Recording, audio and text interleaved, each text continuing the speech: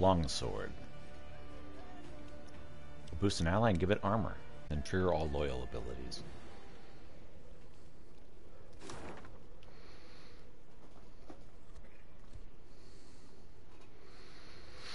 Alright. So we are about to continue the main story.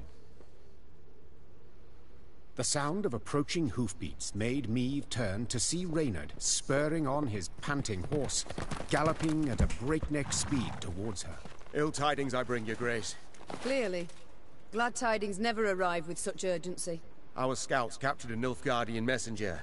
He was traveling in disguise, and by night. When he realized his capture was imminent, he strove to destroy the letters he carried. We were able to salvage some, in parts. Anything of interest? Yes, there is, I fear. Your Majesty, you must listen. Consider your offer accepted. Direct Meve and her force to the agreed site. We await their arrival. Your reward shall be as agreed. Hail, Keritsa. A traitor. We might have expected as much. Nilfgaard has shown amply that it abides only by the rules it sets. Since they have not proved... The messenger. Have you questioned him? Naturally, your grace. Alas, he knows not to whom the letter is directed. He was to leave it in an agreed spot. I take it tidings of the whole affair have spread throughout the force? Yes, your majesty. The witnesses were too many to keep this fact a secret. We must thus assume the traitor in our ranks knows it as well, and will make no attempt to retrieve the scroll. A dead end. Have we any other leads or clues? None I fear, your majesty.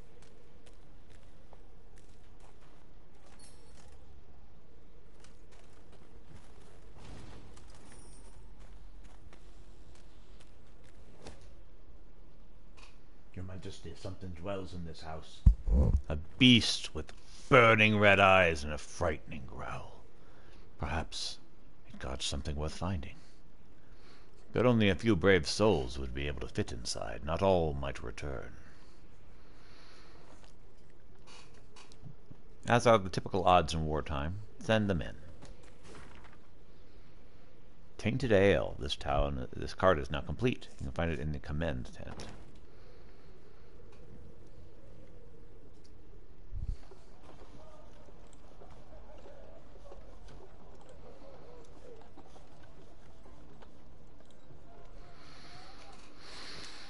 Hmm.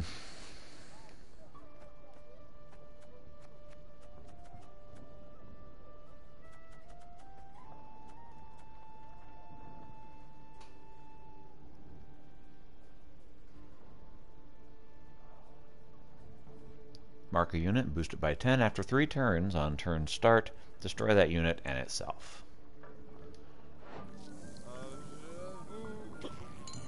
Can't target bosses.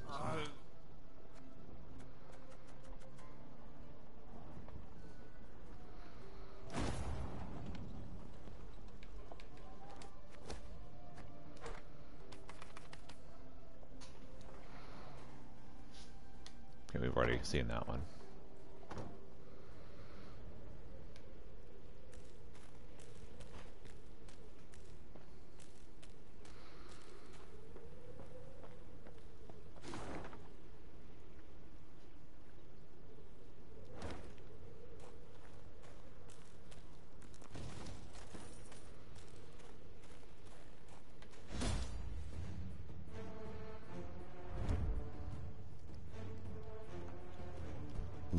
Winters are mild. Frosts are rare, and snow, should any fall at all, melts the moment it lands. Yet Meve's soldiers had now witnessed an expanse with the frosty powder blanket the peaks of Mahakam. They delighted in the harsh beauty of the frigid landscape. Then they were struck with an ingenious idea. To pack snow in small orbs and hurl them at each other. Hilarity and hearty laughter ensued for minutes. That is, until a troll joined the revelry. To their terror, he had brought rocks to a snowball fight. Don't let Meve die. Complete the puzzle by following special rules. Follow the main objectives to win the puzzler prize. This battle only lasts one round. Unique cards will appear in this battle.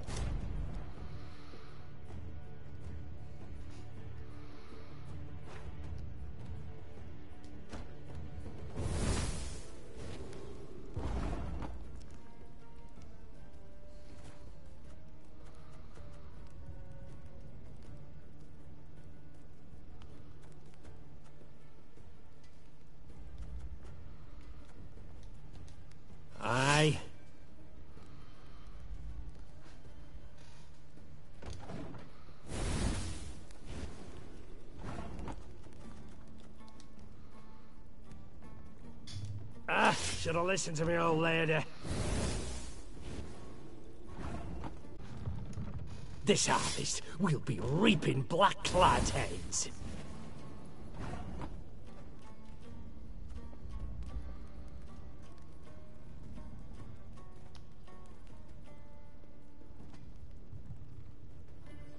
My spirit's willing and how, but these damn boots are killing me.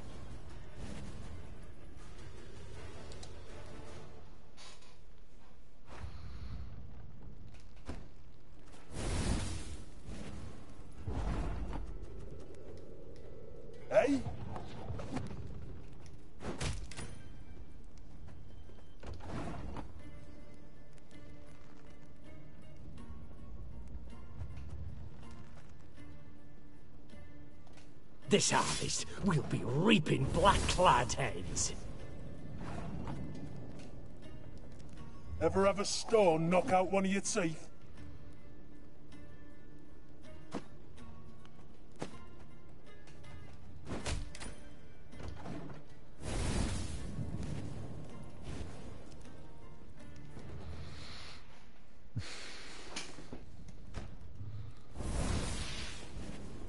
Even supposed to do this? My spirit's willing and how, but these damn boots are killing me.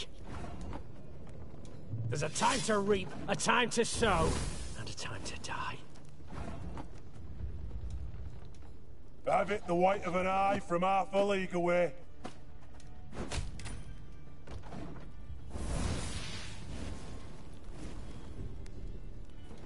I have no idea how I'm gonna survive this.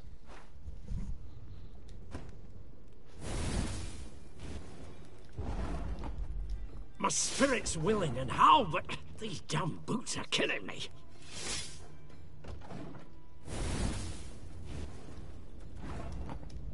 Aye.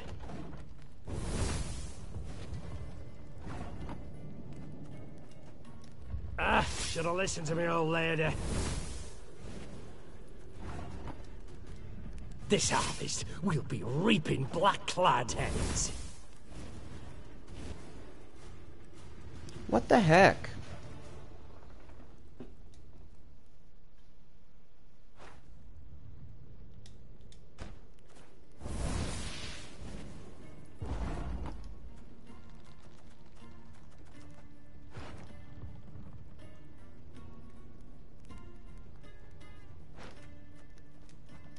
My spirit's willing and how, but these damn boots are killing me.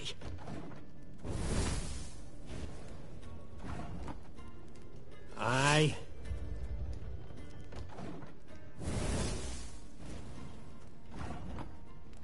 Ah, should have listened to me old lady. This harvest, we'll be reaping black-clad heads.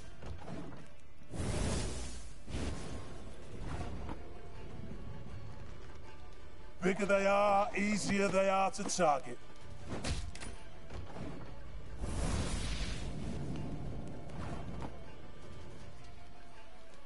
Thing about slings, they hide well.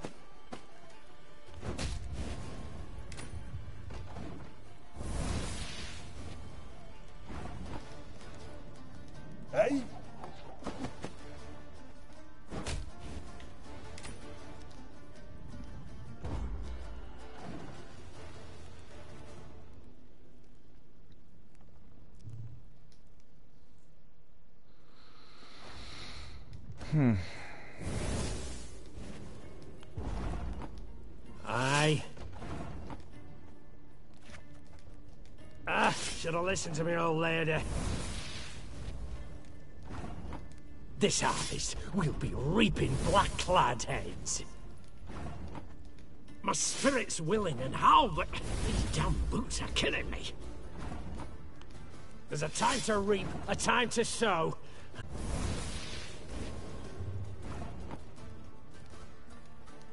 Thing about slings, they hide well.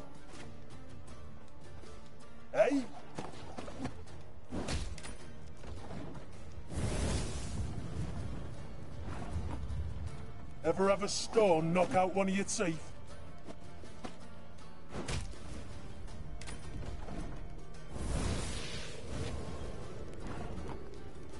I've it the white of an eye from half a league away.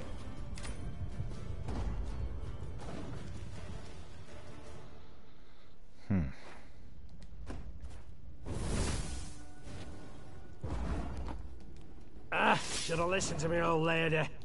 This harvest, we'll be reaping black-clad heads. My spirit's willing and how, but these damn boots are killing me. There's a time to reap, a time to sow, and a time to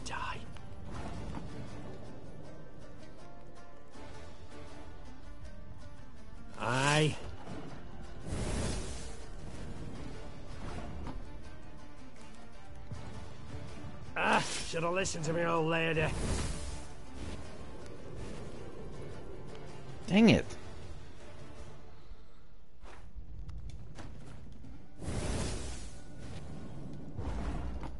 Aye. Ah, should have listened to me, old lady.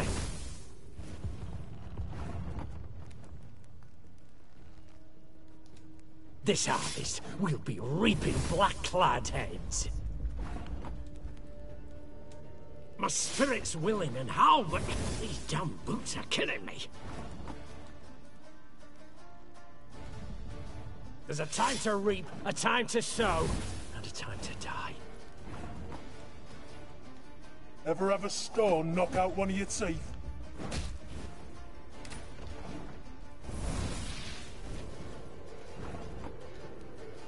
Have it the white of an eye from half a league away.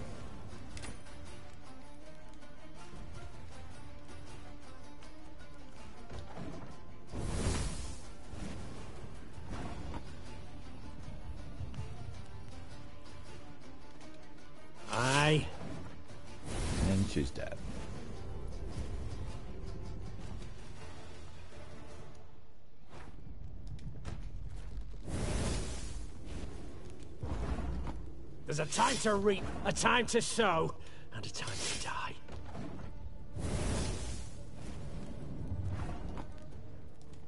Ah, should have listened to me, old lady. This harvest, we'll be reaping black-clad heads. Have it the white of an eye from half a league away.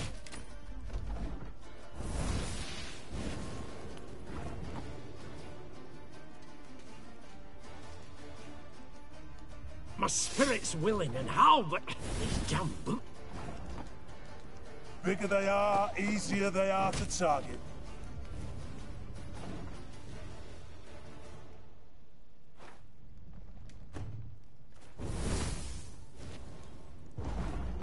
My spirit's willing and how, but these damn boots are killing me.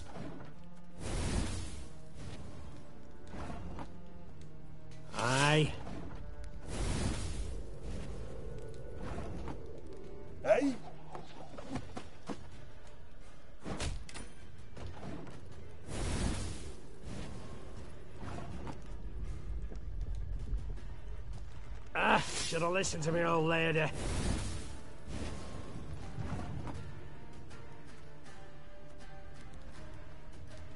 This harvest, we'll be reaping black-clad heads. Ever have a stone knock out one of your teeth?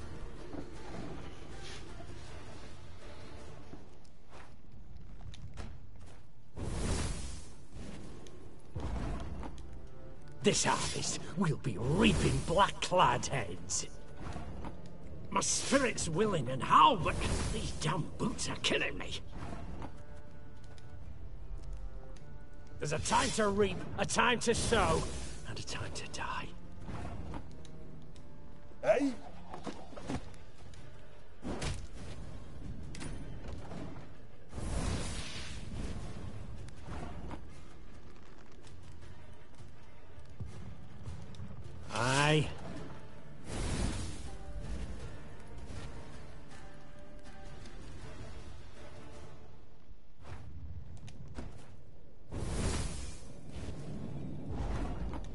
There's a time to reap, a time to sow, and a time to die.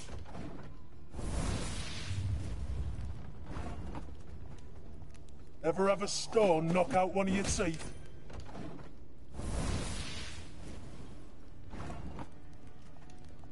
I've hit the white of an eye from half a league away.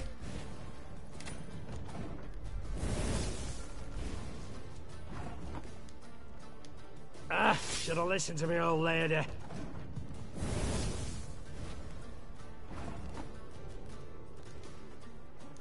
This harvest, we'll be reaping black-clad heads. Gosh, dang it.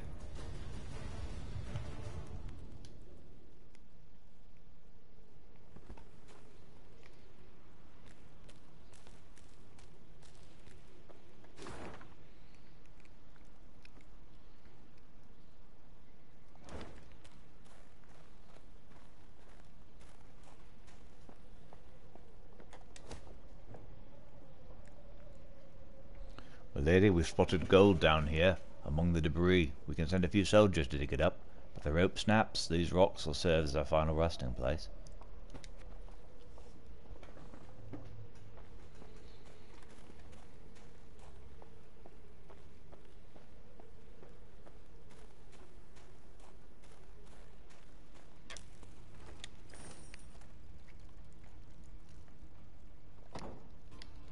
I hate that I keep hitting map when I want to open up the camp and camp when I want to open up the map.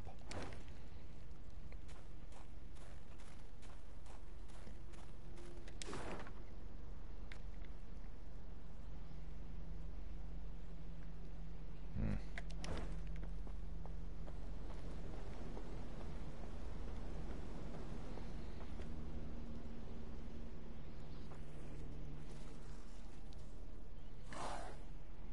Oh boy. Force neared Davor's abyss. Signs of beastly feasting were not hard to find. Countless paw and claw tracks were impressed in the blood-stained snow. Among the boulders, bones picked clean were strewn about. Gascon lifted one from the ground. Empty inside. He said, Something sucked out the marrow. Meve soldiers feigned indifference to the grisly sight. They marched on, their stepped rhythm unwavering, a song on their lips. Yet hearing a slight tremolo in their voices, Meve knew they merely sought to drown out their fear. A moment later, a commander's horn sounded, the signal to halt. The queen galloped to the fore of the column and found herself at the edge of a vast, round hole in the ground. She could not see the bottom. Meve drew her reins tight to prevent her mount from taking even one step forward. What is this? A crater? A desiccated lake? A mine of the strip variety. Gabor explained. Treasures we picked and shoveled for here. Diamonds. Till we happened on the beasts, that is. What now? Orion's a dam. Holds back a lake. If we can break it, water'll rush in, fill the abyss and the tunnels from which the beasts emerge. Just need to get around the mine first. Way down's on the other side. Meve squinted and gazed into the distance. Indeed, there was the dam. And at its foot, a swarm of beasts roiled about. Her soldiers gazed at their queen expectantly, their arms at the ready. She knew well they would rush into battle, in spite of their fear. Gabor! Meve cried out over the whirling wind. Have you bards here in Mahakam? Course, your grace! Then we shall give them good reason to compose this day. On the themes of courage, of heroism, of Lyria! Gee up! And with that cry, the queen spurred her mount, grabbed a banner, and raising it high over her head, rushed headlong at the horrid swarm.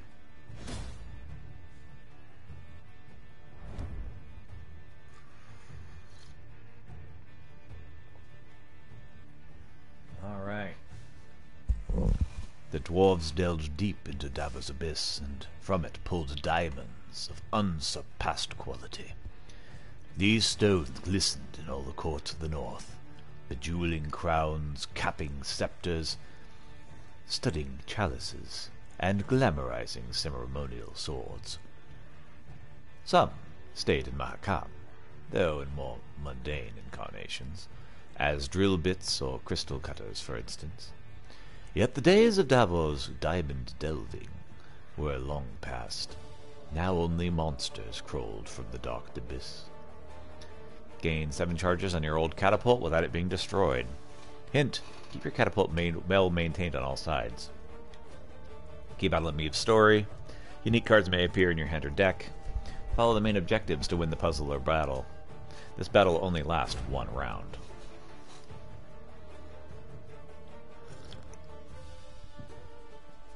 Sorry, I'll try not to drink so loudly.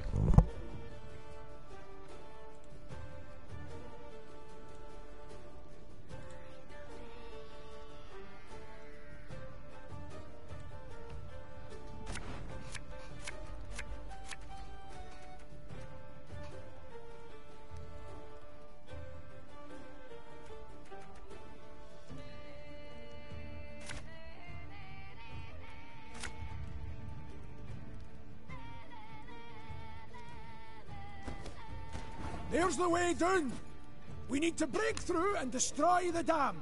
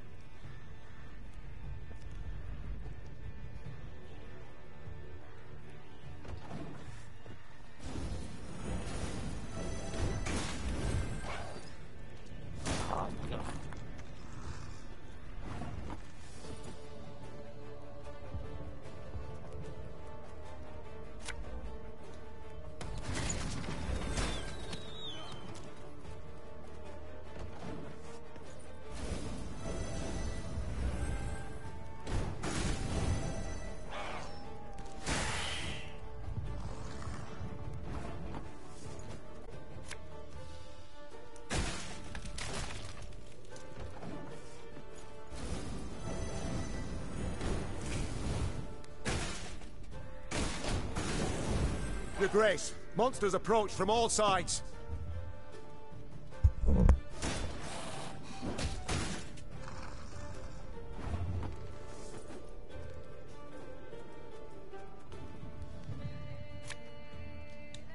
Mahjong, Mahjong.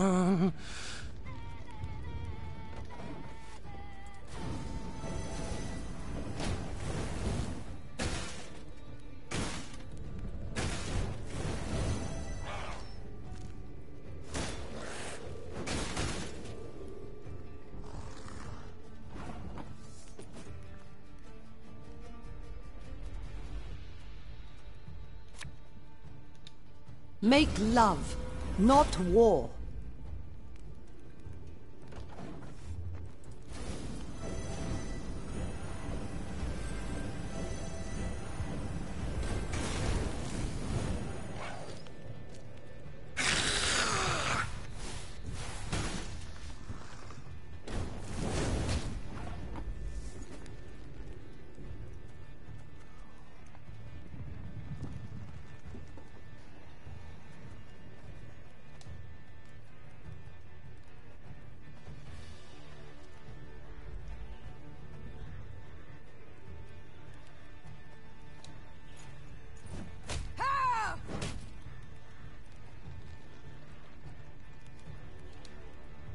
Queen!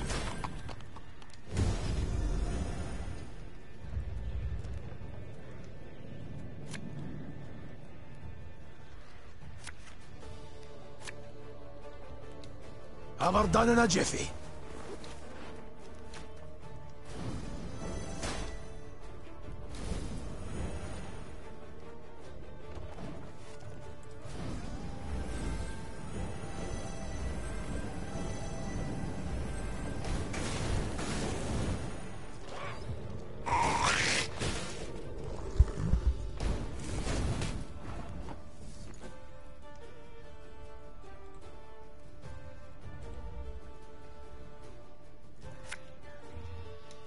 I only loot corpses.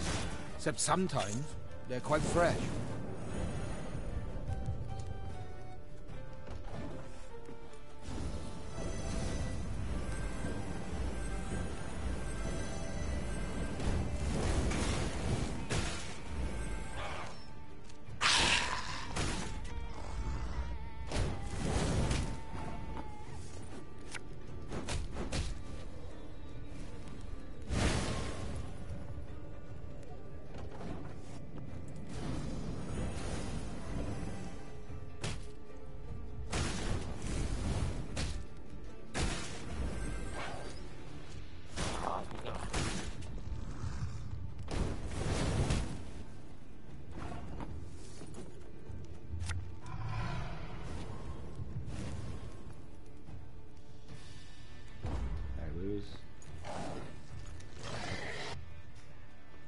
Stuff right next to that.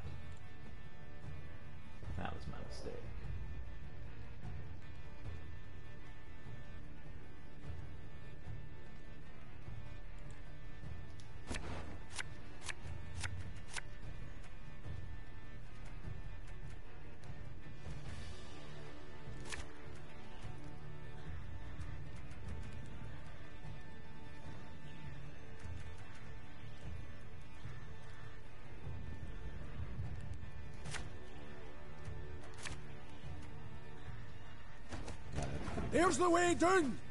We need to break through and destroy the dam.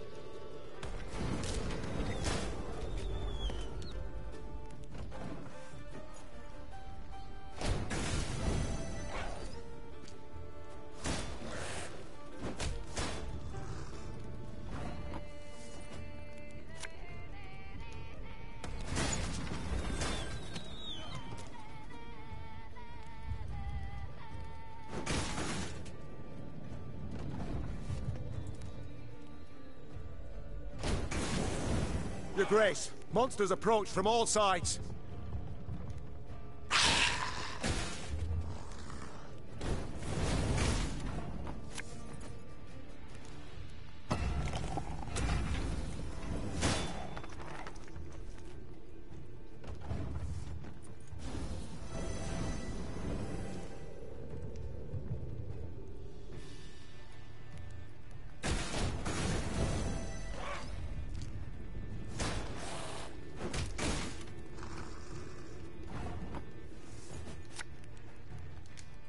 I'd hoped we could solve this some other way.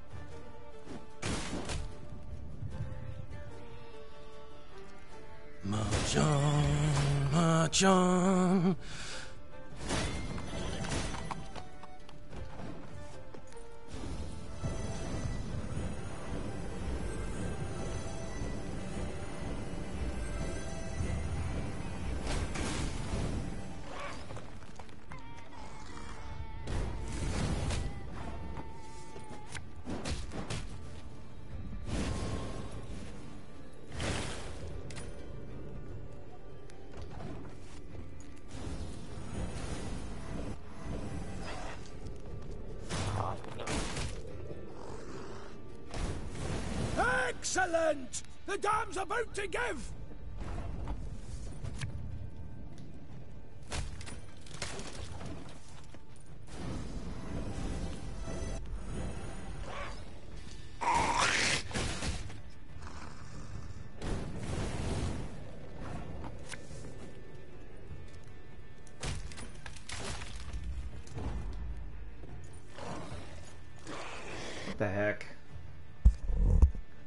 Ridiculous.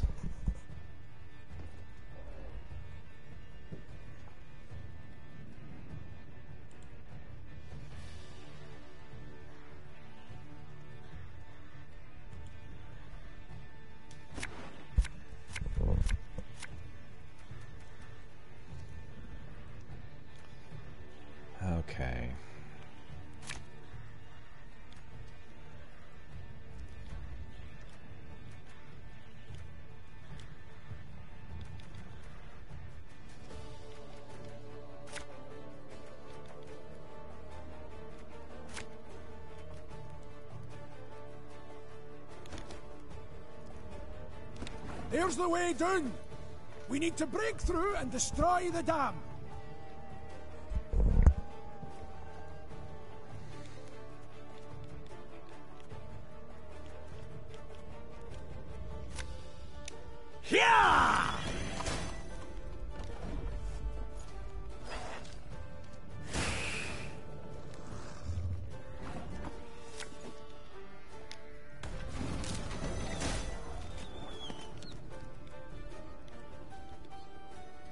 Why is the dog in there? Ugh. Of course, the answer is because I wasn't paying attention. I don't like that answer. Mahjong, mahjong.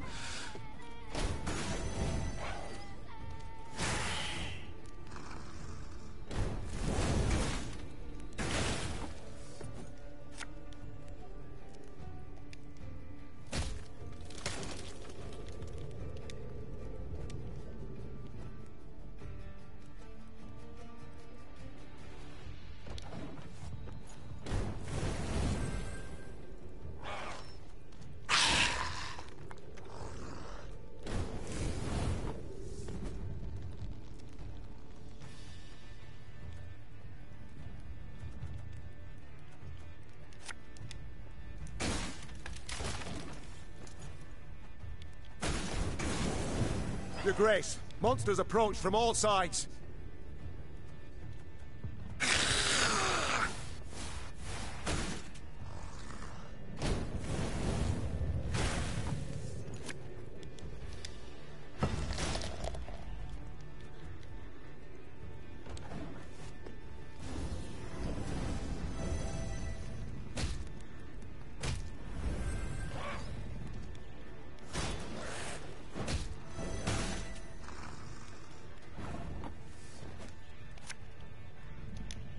Nothing personal, I assure you.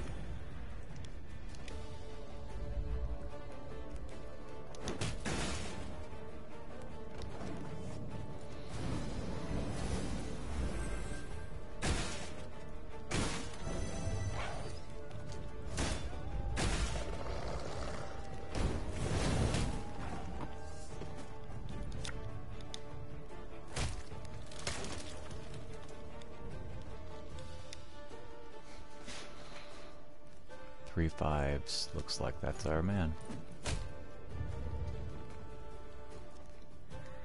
For the Queen! God save the Queen!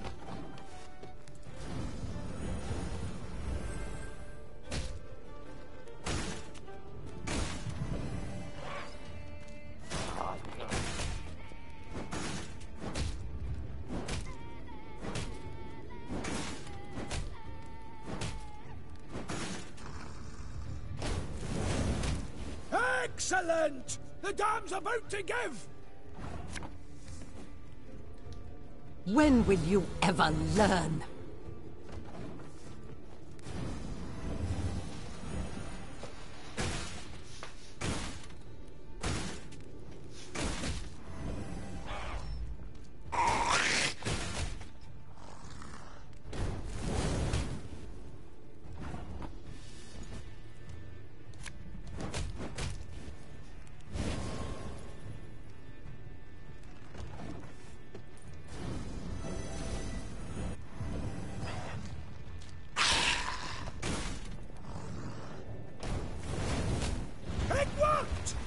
Go. Skinner's flounder!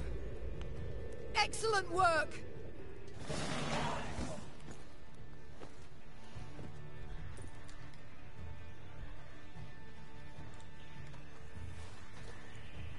And indeed, bards sang of this battle soon after. For no claws or fangs could break through the wall of shields the Lyrians raised that day. And no scales could protect the beasts from the Lyrians' stinging arrows and blades. Fight! Do not relent! Let us show these beasts! It is they who should fear us! The queen shouted.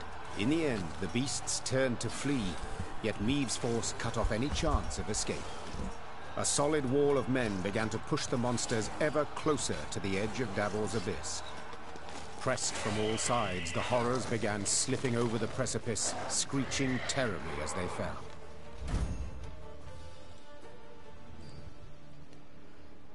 Card has been added to your army and can be found in the command tent. Ah, Silence oh, nice. came Some at blood. last.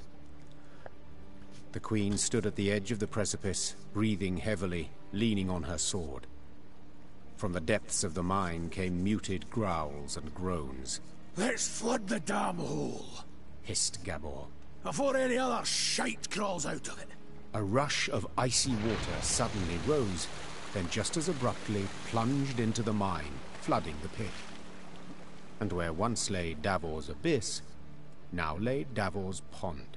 Meve descended hmm. back into the pass, exhausted and covered in beastly blood, yet also exceedingly pleased. She was one step closer to Dwarven support in the war against Nilfgaard. Once the Lyrians had put some distance between themselves and the now destroyed monster lair, Meve ordered her men to pitch camp. Then she sent the quartermaster off for food and drink. The soldiers lit campfires, then set aside their weapons. Soon after, lively music and song could be heard throughout the camp. Your Majesty, Reynard said from behind Meve's back. A messenger from the Elder-in-Chief. The Queen turned to see a dwarf in a richly adorned jerkin and a shako with golden seams. She stifled her laugh into a smile and lifted her chin proudly, expecting praise and a pledge of aid in the war against Nilfgaard. My lady, your daring deeds have come to the Elder's attention, said the dwarf in a measured voice. He's positively irate and demands an explanation. Irate? But why? I and my men, we've aided you greatly. Elder Hoog awaits at the Long Bridge. You'd be wise not to keep him there any length of time.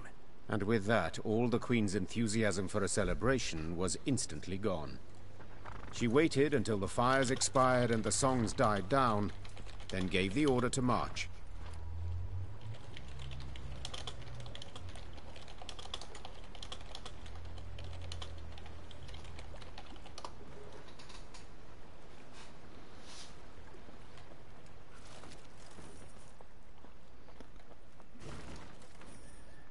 Day 234, first day of winter. Going to be mighty rough. So cold the pickaxes are freezing to our hands. Had to cease work. Day 239. The snow has started. Two meters a day, no plowing visibility. Chimneys barely poking out of the snowdrifts. Day 245. Monsters attacking from all sides. Hard to hold ground. Huge losses. Day 250. Had to abandon the mine. Retreating to Burrow's Rump. Will return come spring. Petrid Fuchs.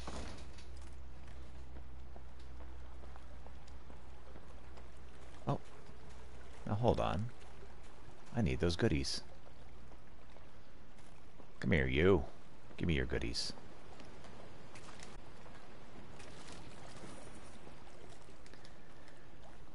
Hey, more goodies.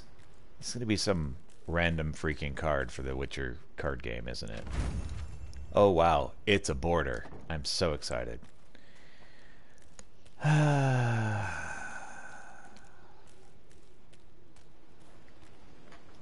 see, what are we at? Oh, wow. Making good progress. Goodies. Goodies. Oh. Petrit, I agree the mine must be evacuated. Carry as much as possible of what you've extracted so far, and raise a red banner so our scouts can spot ye in the snow. All the Burrow's Rump looks forward to your safe return. To Mafooks. Alright. What kind of goodies can we buy here?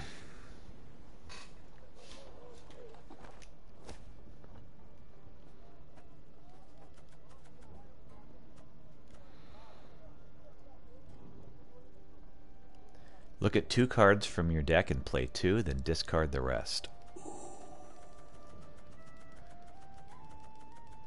Picking any two cards I want out of five? That sounds awesome. Uh, what am I gonna lose?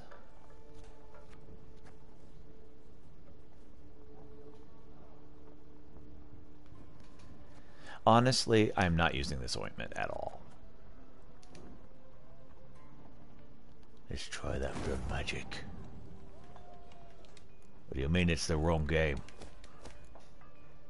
Tis what I said it is.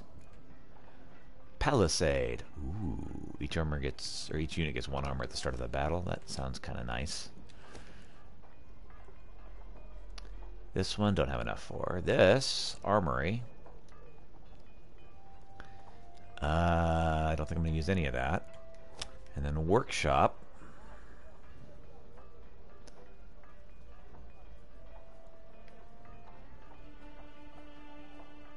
Uh, yeah. Palisade it is.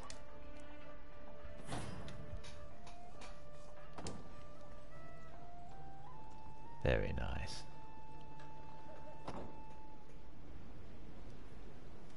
Where are we at? Alright. Let's go cause some trouble.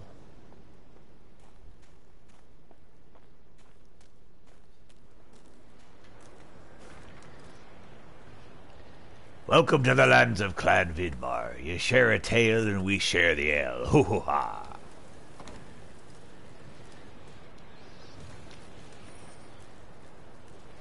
Goodness.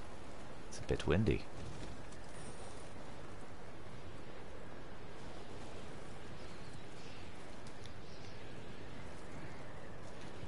Gazing towards the horizon, Meve noticed a dark shape outlined against the mantle of snow that lay on the ground. It proved a tower, toppled and broken in pieces. Around it lay the ruins of other buildings, blocks hewn out of basalt rock protruding from the permafrost. That'd be the Clan Vidmar ruins, said Gabor, hollering over the wind. Rich ones had their clan seat here till earth tremors turned all into dust. Hundreds of dwarves lived here once, and now, not a living soul.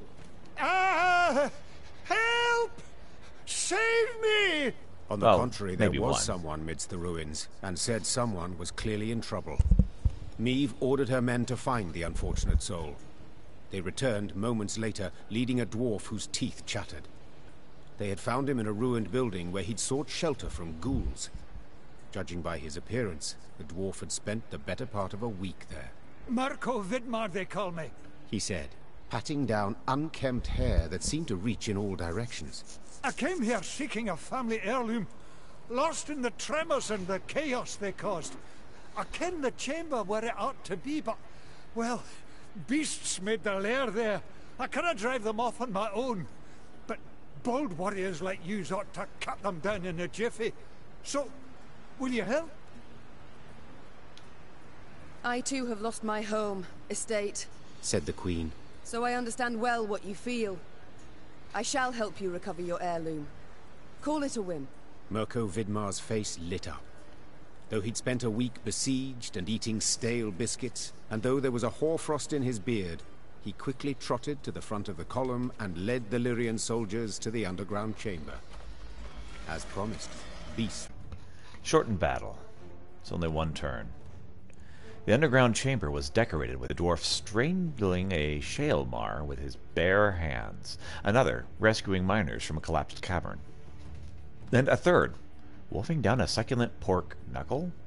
It came no surprise Mirko wished to regain the relics of his famous ancestor.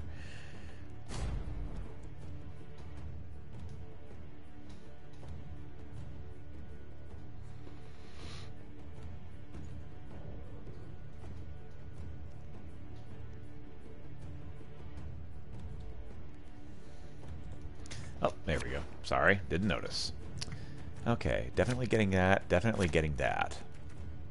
Uh. Ugh. Yeah, reaching a point where it's hard to decide anymore. Yeah, he can go. Ugh. Traps are so freaking useful. Uh, he can turn her into double boosts, so I kind of don't want to lose him. Uh, let's lose the forager. Oh, crap. Uh, uh, yeah, I don't think I'm going to get any better than this. The ruins! From there they come! Drive them back!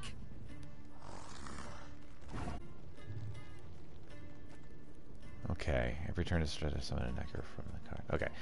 Um.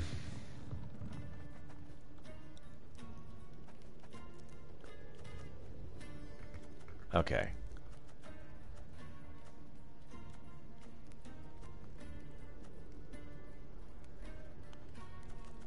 what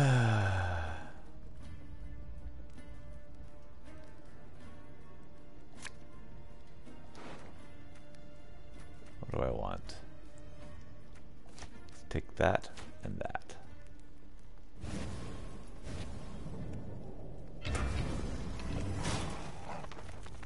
Alright. Let's get one of these. Yeah! One of those. Oh, that's fine.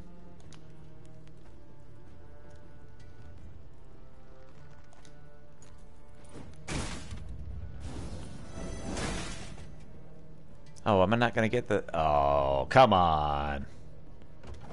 Ah, whatever.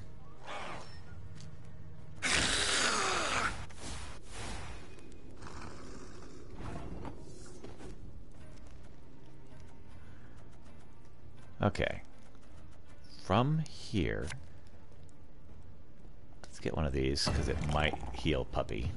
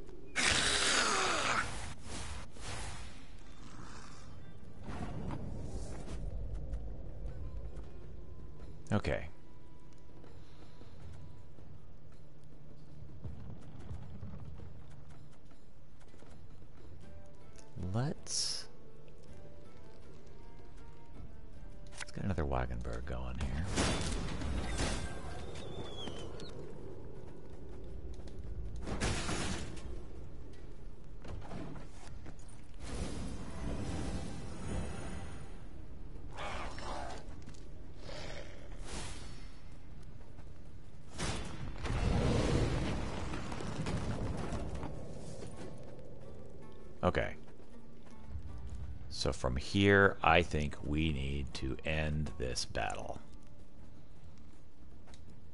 Because I think anything else we do is going to give us another one of those on the battlefield. And that's what I need to avoid at all costs right now.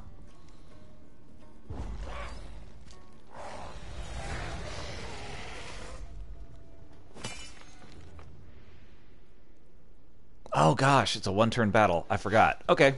Well, now I'll remember that this time.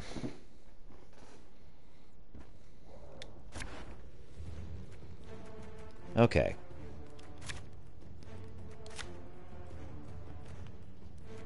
Need one of those. Gascon seemed kind of useless. Need to get rid of him, probably. Alright, um... That seems kind of useless. That's definitely useless.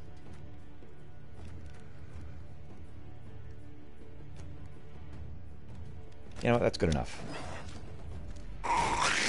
The ruins. From there they come. Drive them back.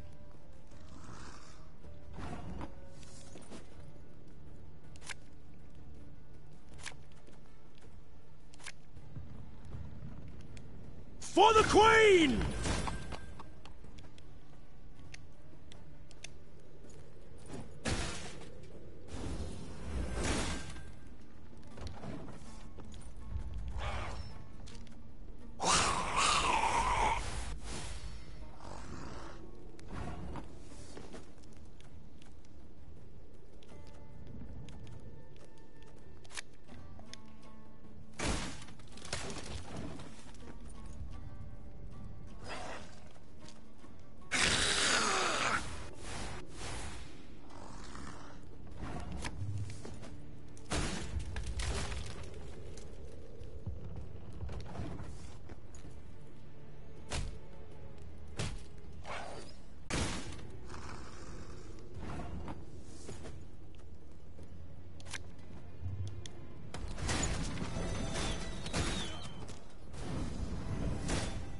Okay, those traps are super useful for this.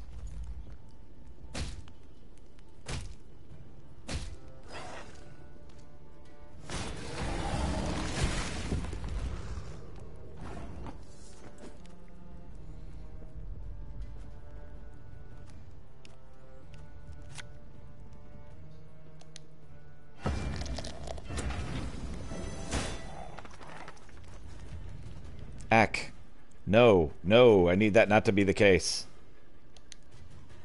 Oh,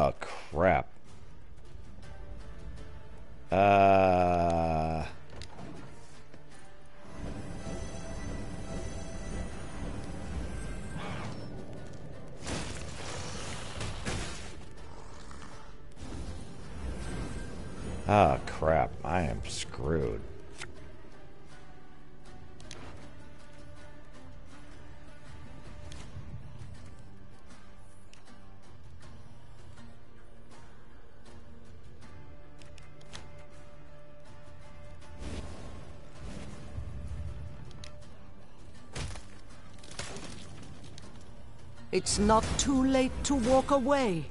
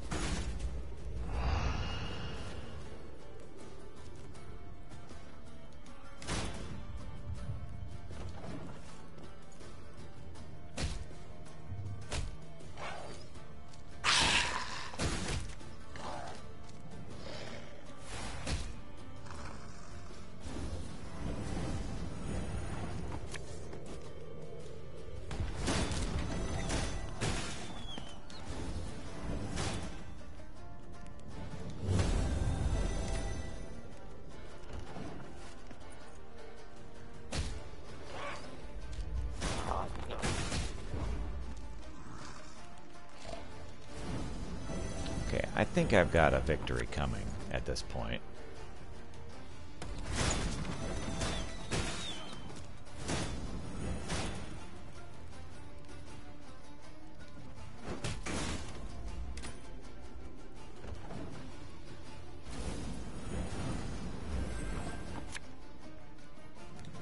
You sure about that?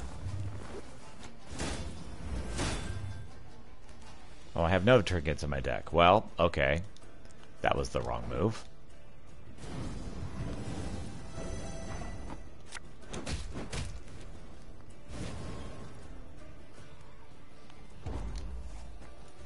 Let's get a move on before All any right. others show up.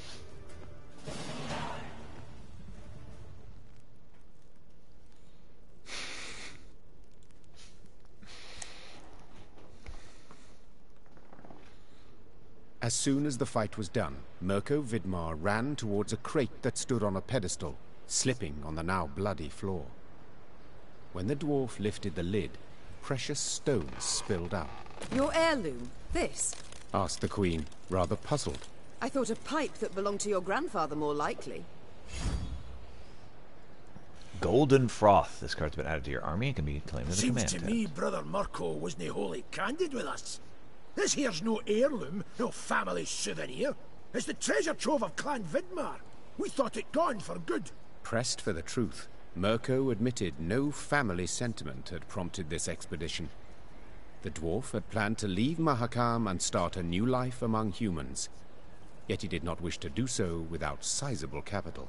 I canna stand to stay here a moment longer. The days, all of them, they're identical. Rise with the first cockscrow, march in double file to the latrine, crap on command, twelve hours down the shaft and home to sleep. Mirko complained. Want a wifey? Put in an application. In triplicate. Care to snip your beard? Elders got to approve it. You want to add buttermilk, not cream, to your mushroom soup? Clan council's got to debate it.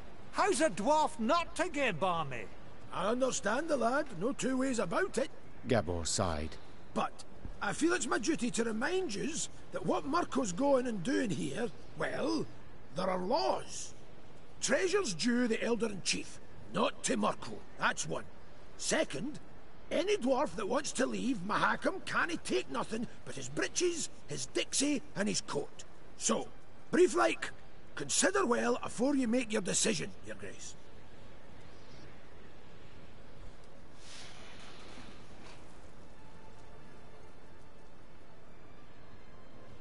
I sympathize, Mirko. Said Meve. But I'm a crowned head. I must decline.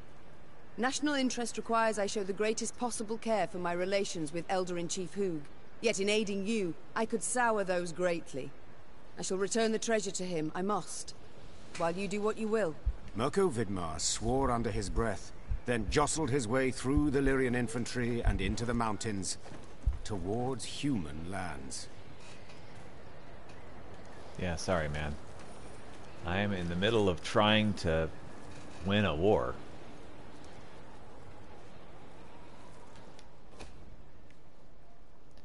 I can't unnecessarily pick a fight here. All allies in a row by four.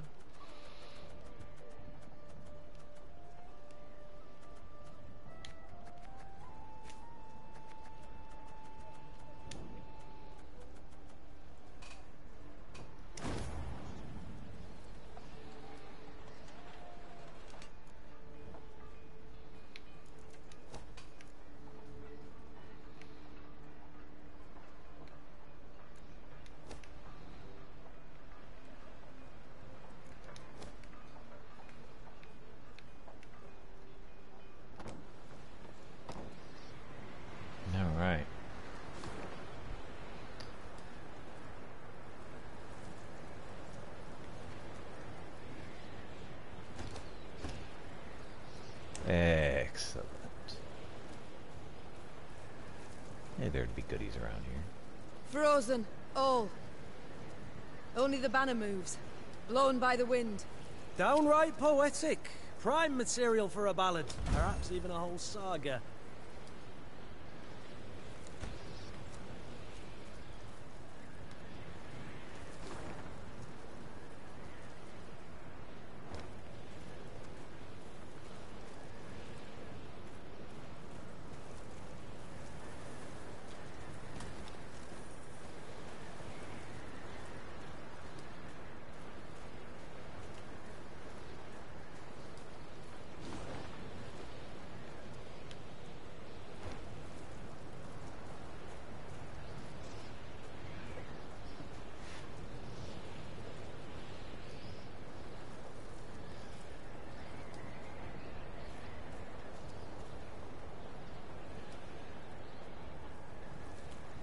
Lyrians rode a narrow, winding path along the rocky ridge.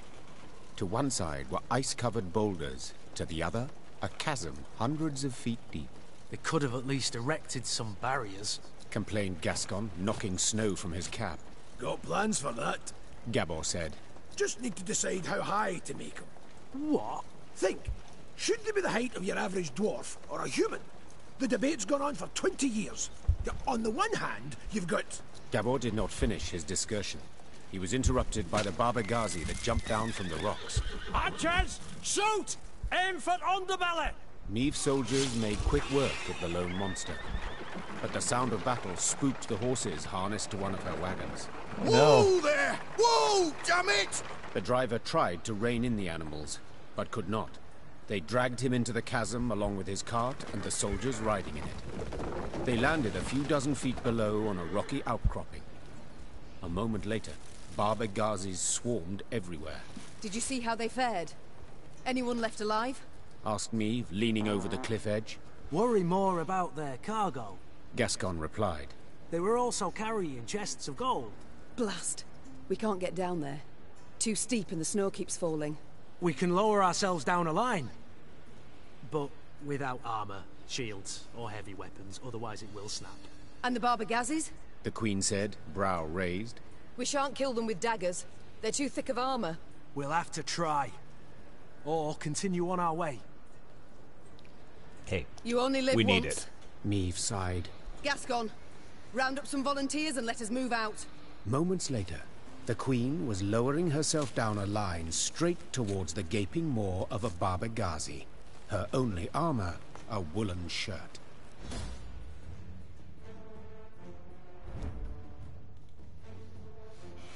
Meve's parents long refused their noble-born daughter lessons in the arts of the sword, yet nevertheless did she train in secret, wearing a blouse instead of armor, a kitchen knife in place of a sword, imitating the maneuvers she witnessed in knightly tournaments. Now, forced to fight without proper equipment, her childhood ex exercises would prove most useful in her than she could have ever imagined. We have to eliminate the Barbegazi. There are special rules. We have to follow the main objectives to win the Puzzler Prize. This battle will only last one round.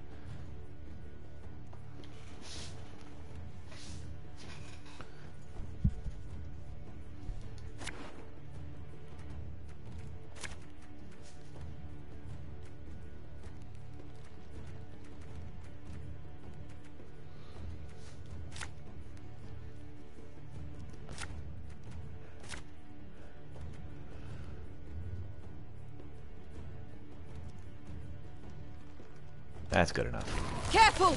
No one try to be a hero!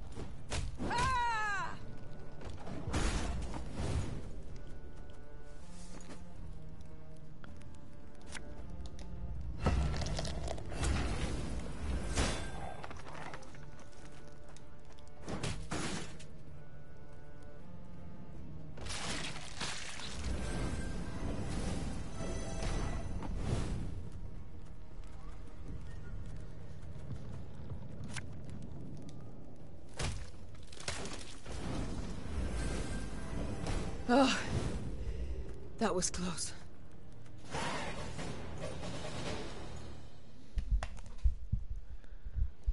Bereft of sword and shield, Meve could not withstand a single blow.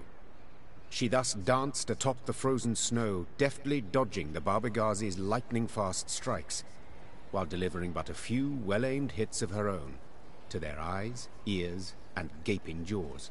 When the last monster fell lifeless to the ground, Meve walked up to the shattered wagon. The soldiers it had carried were bruised, frostbitten, but alive. Your Grace, we were sure you'd leave us. A good ruler never abandons her folk. Nor her gold. Gascon interjected, while securing a rope to a chest. Soon enough, all were safely back on the path. The admiration Meve saw in her soldiers' eyes was in itself sufficient reward for her difficult battle.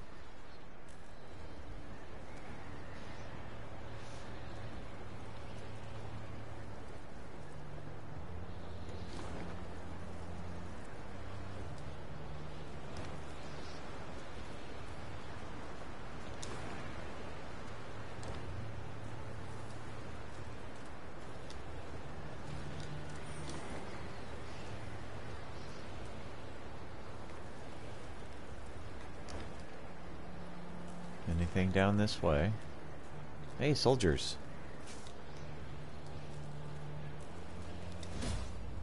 Oh, a puzzle fight. fight. Mindful of the intensifying snowstorm, Meve halted the march at a roadside inn by the name of the Stone Hearth. Waiting for a turn in the weather, Meve bided her time by playing a round of Gwent with the innkeeper. It appeared the residents of Mahakam played by a set of rules different from what humans were accustomed to in the lowlands. We have to destroy the Stonehearth resident hero Garth Rockstew. Units whose armor is reduced to zero are destroyed. Every turn, draw a card. Complete the puzzle by following the special rules. Follow the main objectives to win the puzzle or prize. Battle will only last one round, and unique cards will appear in this battle.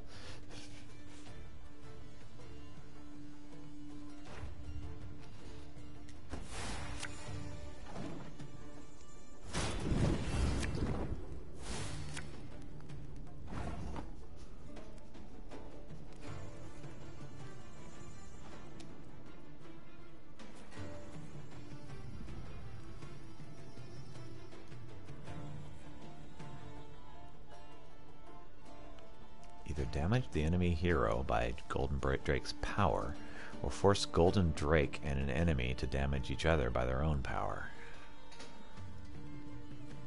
Huh.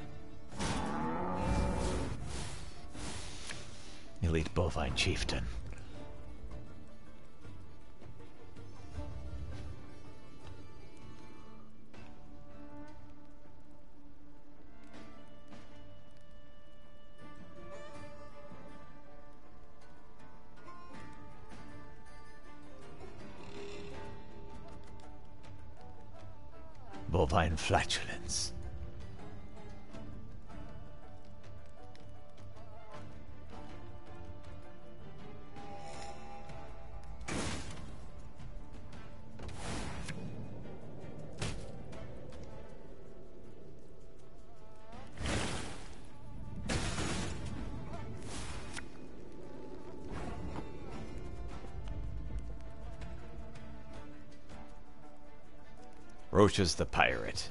Either damage the enemy hero by Roaches the Pirate's power or force enemies. Roaches the Pirate and an enemy to damage each other once by their own power. Once the pirate is displayed, summon this unit from the deck.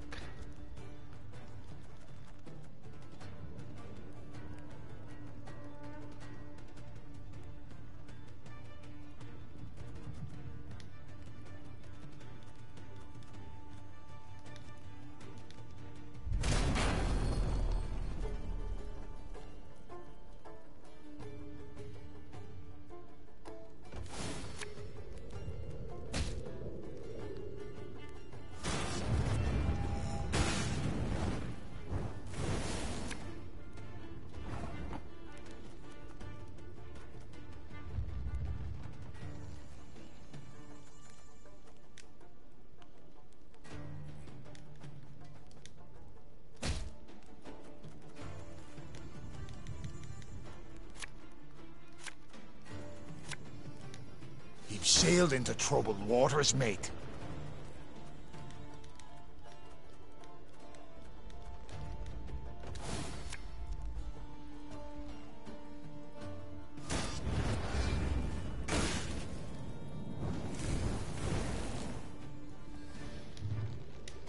Let's restart then.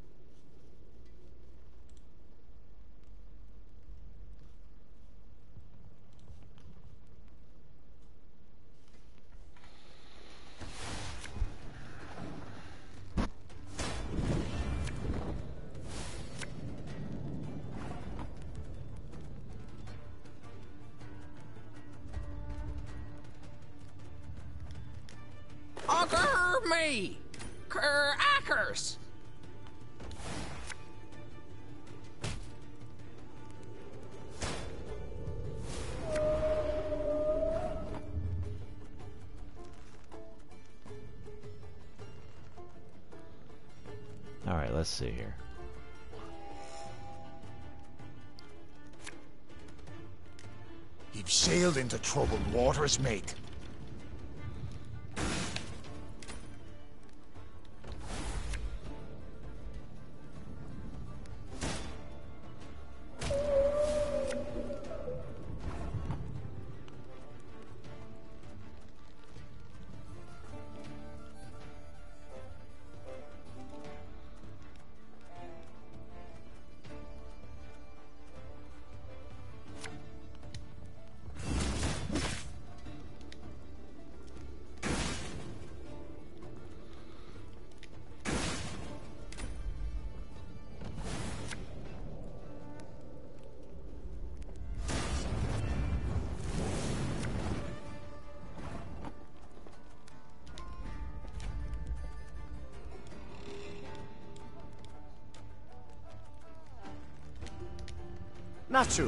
Of course.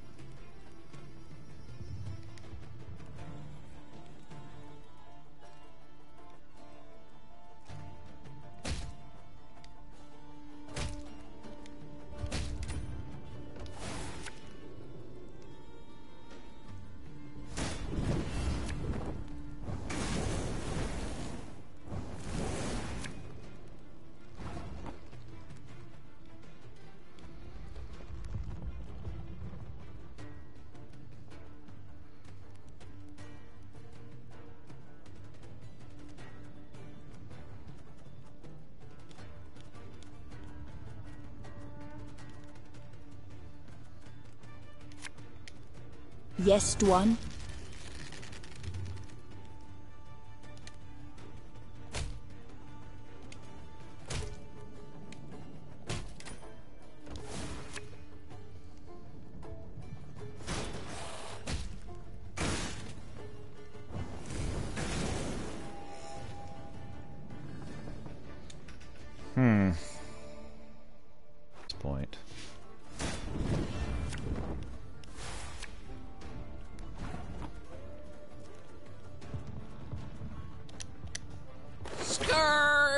Scurvy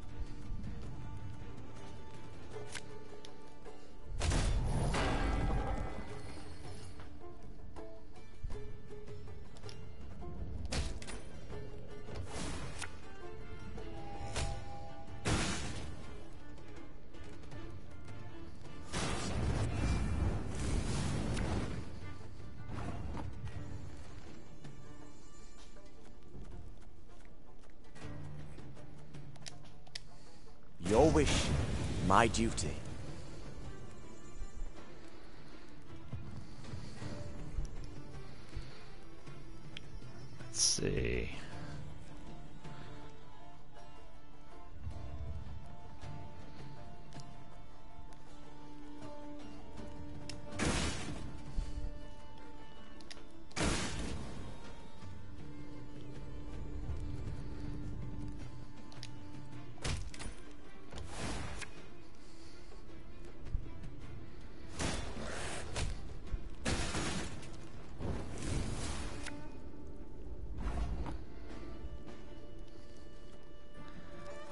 Five.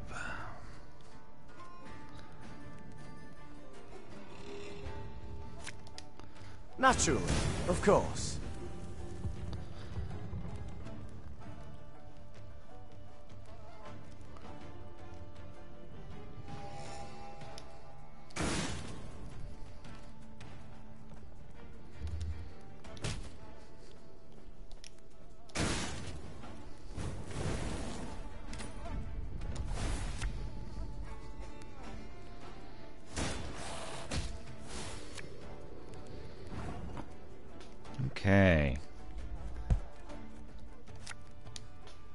Follow me this way.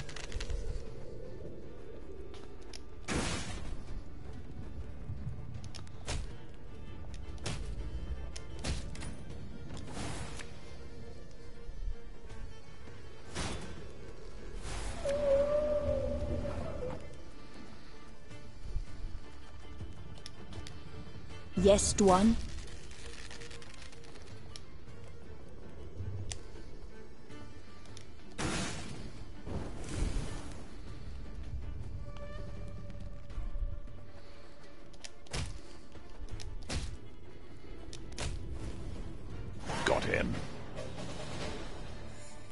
Gears, they are turning.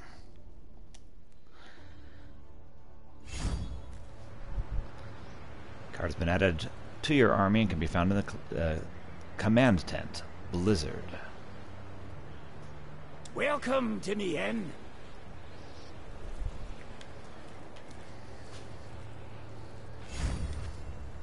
Is this avatar in the Gwent multiplayer card game? Which, of course, is the entire reason I'm playing this, is for multiplayer cards.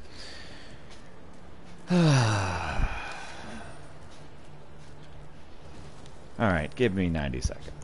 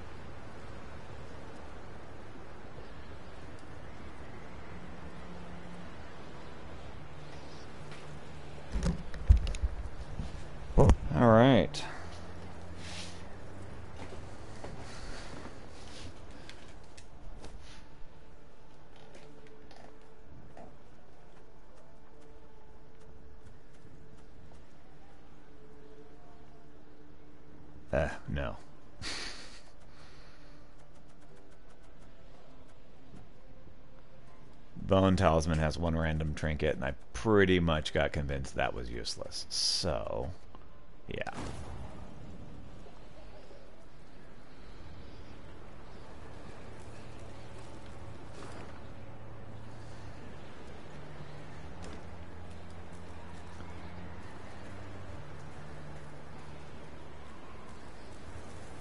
Oh, hefty mantle of fresh snow today. Got a blow before too long. Bring a rush down.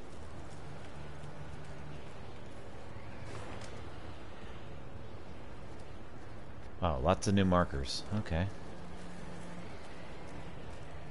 Oh, we've got some enemies.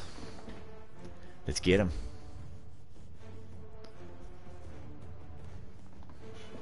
The fact that Elder Brouver Hoog has finished spring cleaning does not mean the passage was safe. Off the beaten track, amidst icy windstripped ruins, beasts still skulked, eager to ambush naive travelers who strayed too far from the road. Eliminate both the reckless and shrewd vampires. Do not let any more of your soldiers get seized. Use your leader's ability. Complete the puzzle by following the special rules. Follow the main objectives to win the puzzle or prize. The battle will last only one round, and you will have a custom deck, which is part of this battle.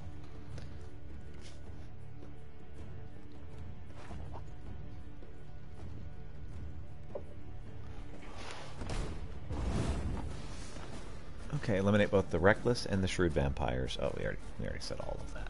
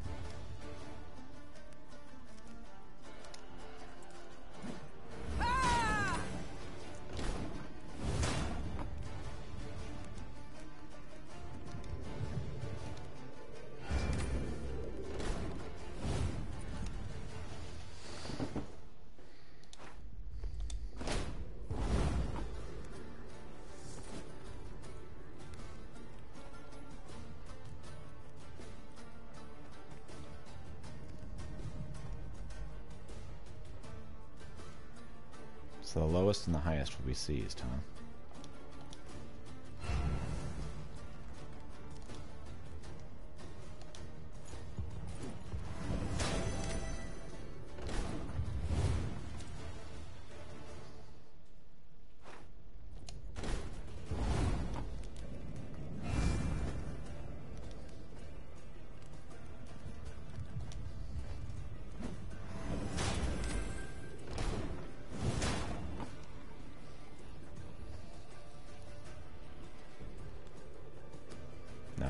Will be seized this turn.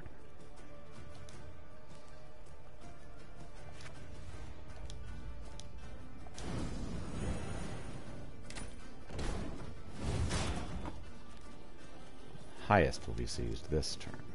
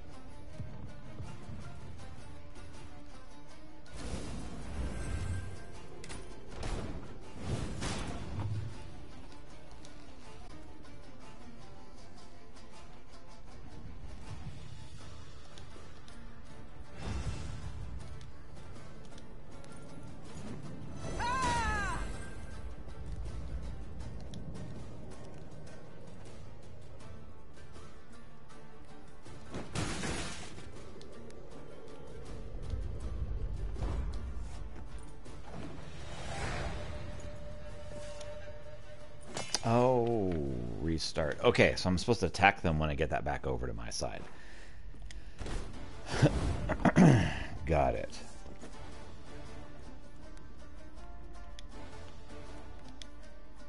It's going to be highest this turn.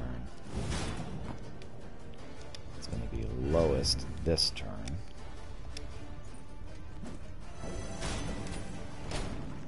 It's going to be highest this turn.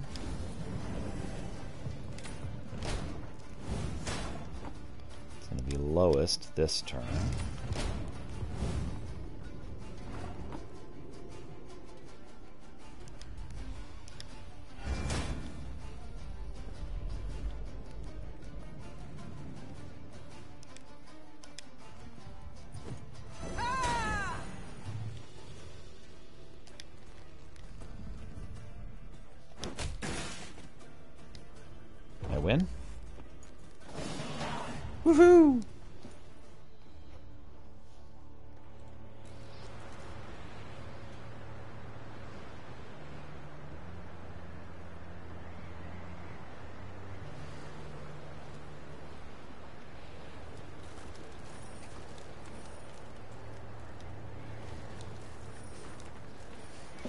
The Workers' Commission has determined that the nasty stench floating around Craig's Pass gold mine is not in fact a fart, faultless or otherwise, but is caused by methane fumes. As a result, please heed the following.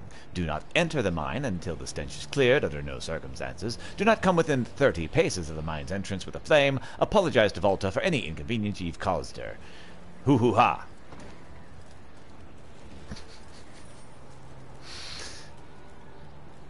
So, the official word before that official word was Volta has been farting and that's why it smells so bad. And and, and that was the correction. Ooh. It looks like a dragon of some sort.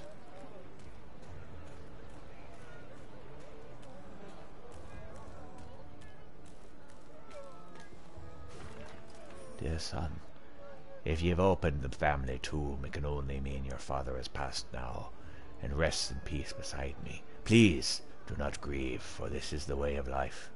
Always has been, always will be. You're the head of the family now. It won't be an easy undertaking, but fret not. I set aside a sizable sum for this very day. You'll find it where we used to watch the sunset. May the future be long and bright. Your mum, Vavakara.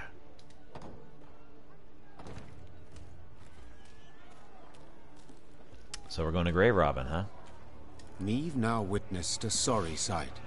A mass funeral for miners killed due to a tragic convergence of events. Their lead caskets lay upon the snow, wreaths of hop cones laid upon them in turn. The mourners waited for the diggers to finish. The digging was tough, for the ground was frozen.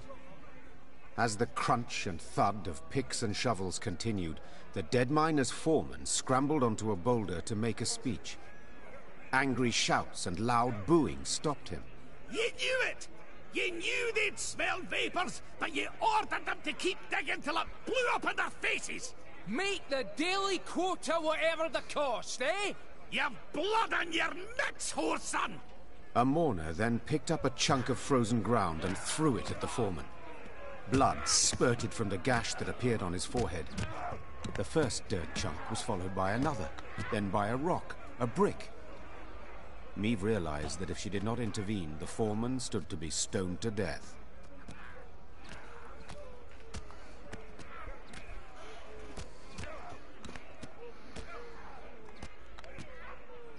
Meve resolved not to meddle in dwarven affairs. She did not know what Mahakam's laws would make of the situation, nor was it certain the accusations against the foreman were true. She spurred her horse and led her force away, quickly leaving the cemetery and the turmoil behind. Honestly, I can't... I can't intervene if I don't know no. what's going on. A speech for the four dwarf. Rot slow, ya whoreson.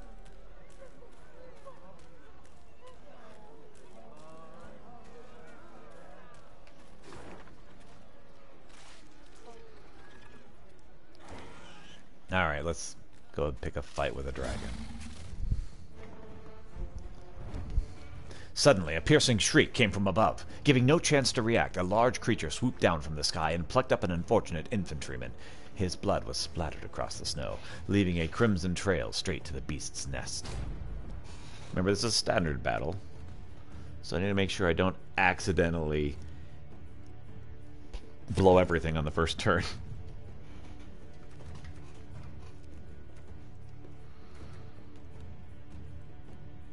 I mean, this looks pretty good to me right here.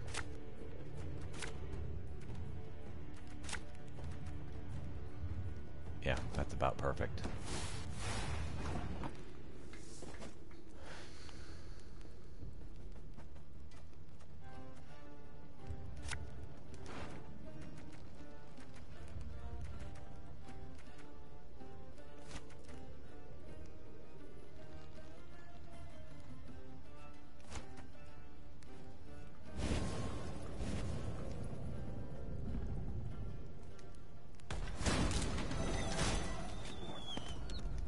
Mahjong,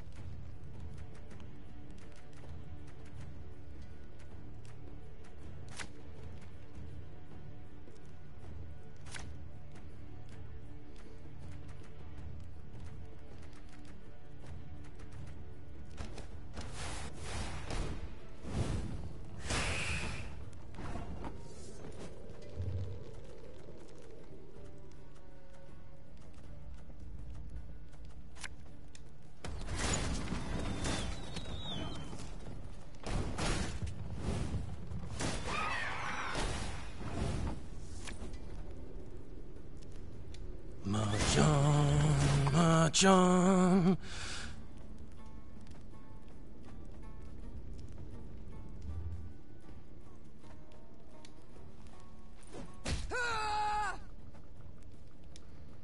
the Queen!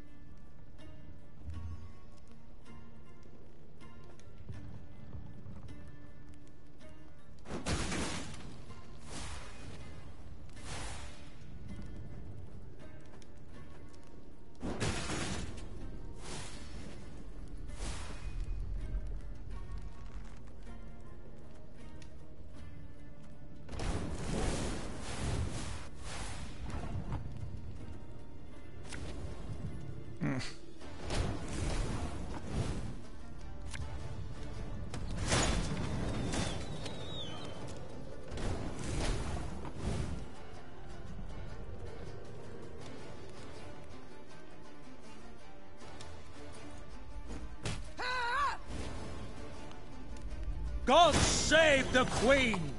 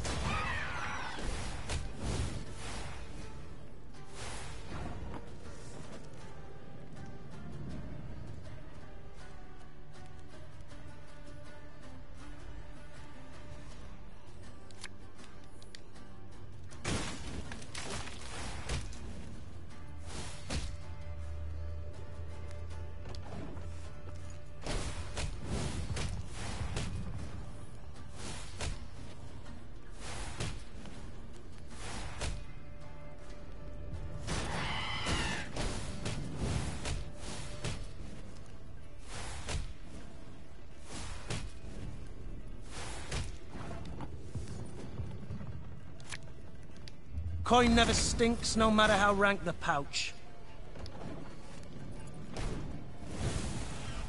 When will you ever learn?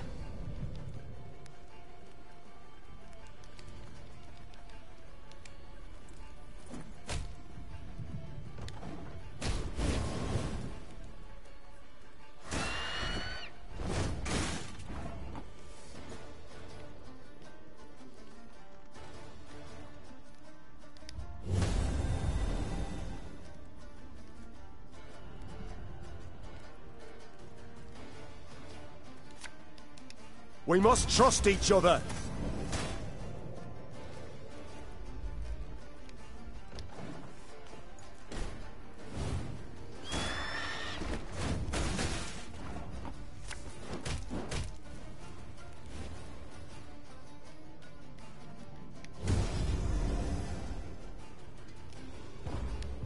Okay, that should be enough to win.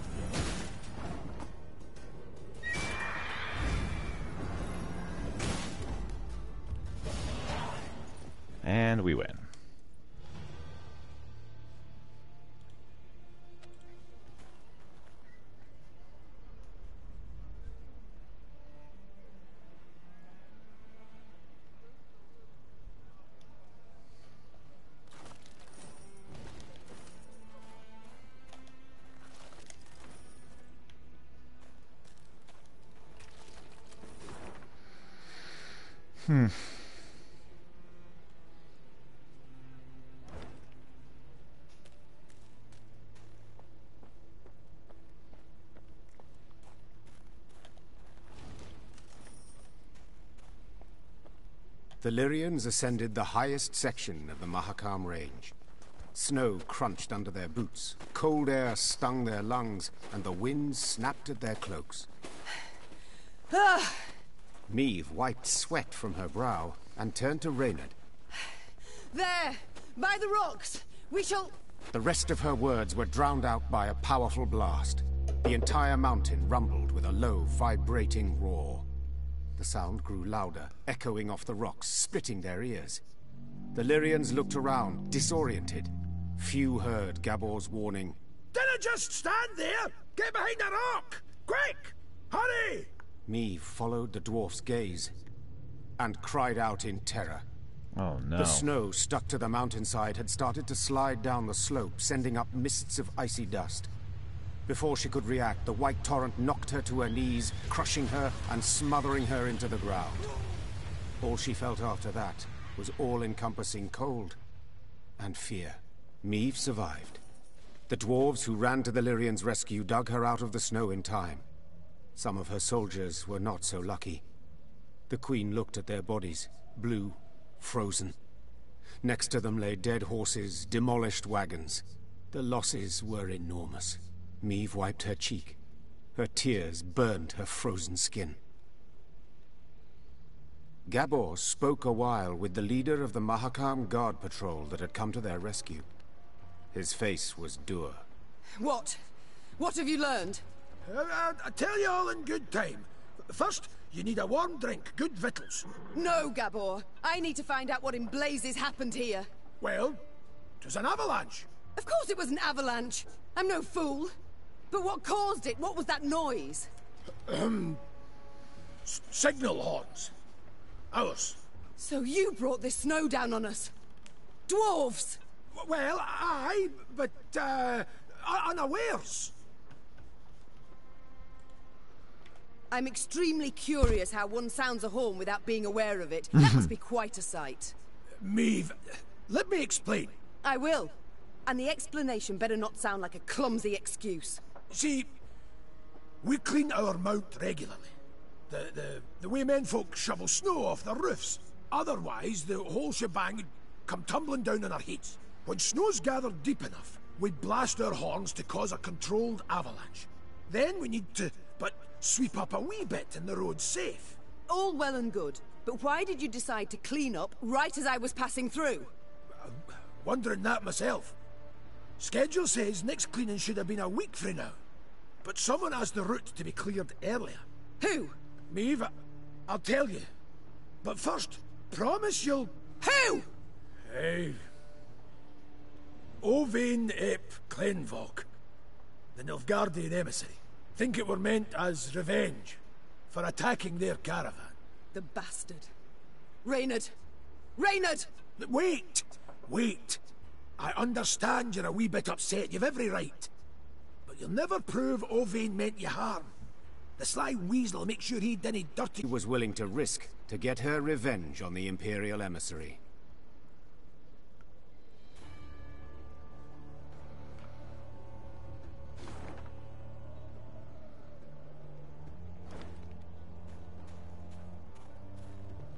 By the Elder sideburns, I, I'd no notion anyone was in the Vale.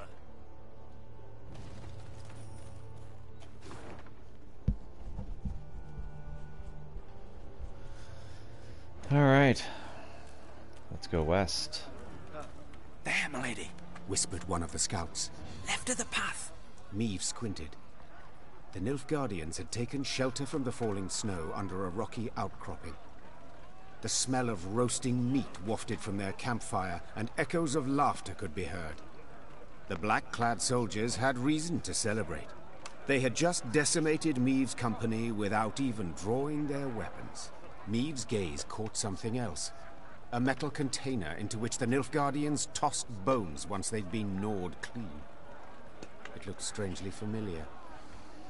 Only after a moment did the Queen understand it was an overturned Lyrian helmet dug out of the snowy grave of one of her men. The Horsens. Meve hissed. They'll pay for this. Meve! Asking you last time, keep a cool head. Whispered Gabor. You want vengeance? I get it. But think of the cost. If so much as a hair gets plucked from Ovain's head, Brouver'll never forgive you. And you can kiss any hope of aid goodbye. Silence followed. Finally to be broken by one of the scouts. Milady, what's the order? Do we attack?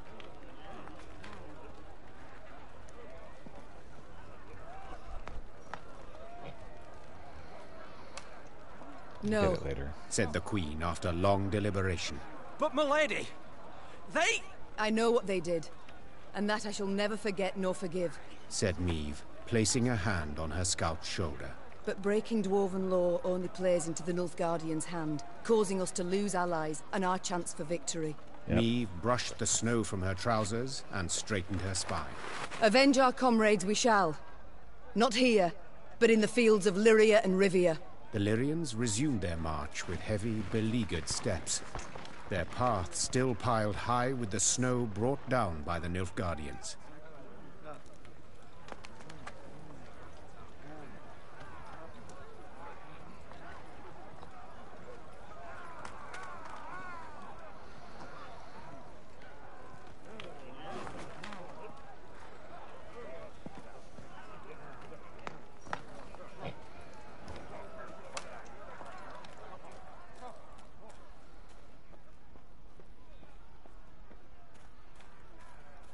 We had a chance to attack Nilfgaardians, and we did. They had a chance to strike back. While passing the did. mining settlement of Kolstock, Meve heard the sounds of battle. Hey-ho! Into the fray, lads! Expecting she would see monsters swarming dwarves, the queen set off at a gallop to the rescue. Her braid blew about in the wind like a banner, showing her men in which direction to attack. The dwarves she saw, however, were not engaged in a battle against Shaelmaars and Barbegazis. No, they were going at one another. Luckily, no weapons had yet been drawn, but given that dwarves have hands the size of bread loaves, this did not necessarily mean there would be no deaths. Oi, lads! roared Gabor Zigrin. What's this foolishness? Calm the hell down, damn it! Gabor's intervention proved successful. The dwarves limited themselves to verbal jousting. Meve, who was no stranger to barrack room talk, nonetheless turned crimson at the dwarves' cursing. Piecing together the obscenities, Meve concluded they were debating an old quarrel about the height of a certain mountain, or rather of the twin peaks atop it. One of them lay in the territory of Clan Dahlberg, while the other in the Hoogs land. Each family felt their peak was the highest, all measurements indicating the contrary being total fabrications. Queen? Started Gabor, nervously chewing his moustache. They're asking if you, as yin impartial and a fair-minded wench to boot, wouldn't you wish to settle their idiot squabble once and for all? Meve knew well that this type of age-old quarrel could easily end in bloodshed, so she resolved to help. Representatives of the two clans gave her a strange mechanism she was to use to measure elevation. All that was left was for the Queen to button her coat up to the neck and scale the Twin Peaks. Time to end this delicate feud, once and for all.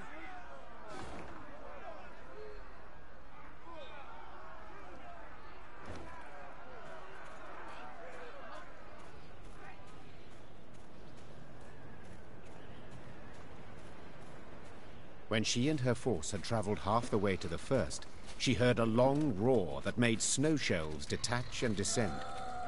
Without waiting for her scouts to return with reports, Meve drew her sword.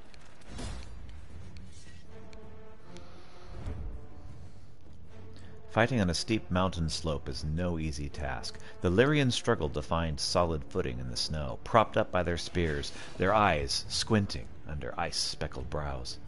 Whereas the beasts, they moved with ease leaping from rock to rock, long talons scraping menacingly against the stone. This is a shortened battle. Only turn. Only one turn.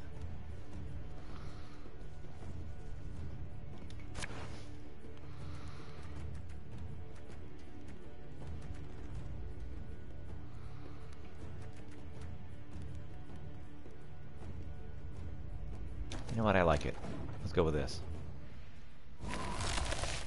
Oh. Oh, screw you. Ah.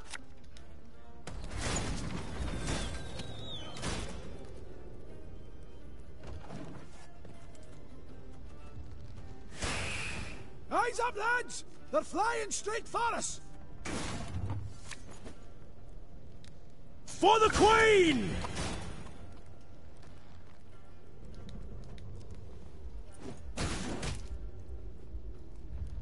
God save the Queen! Oh, what? No! Ah! Oh, why would it let me pick an empty row?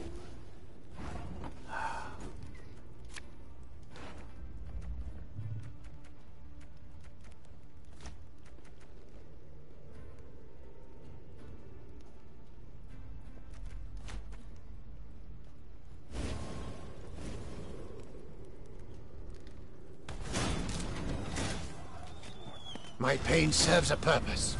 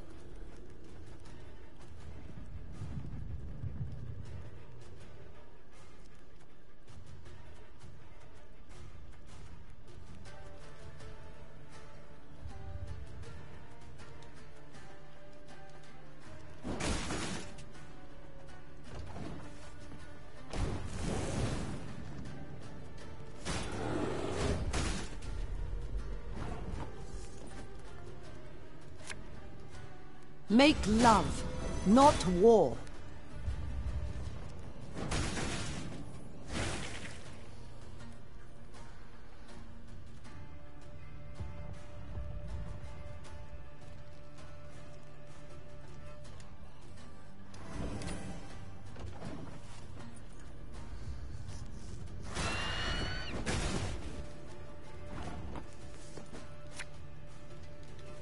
All right, that's no problem.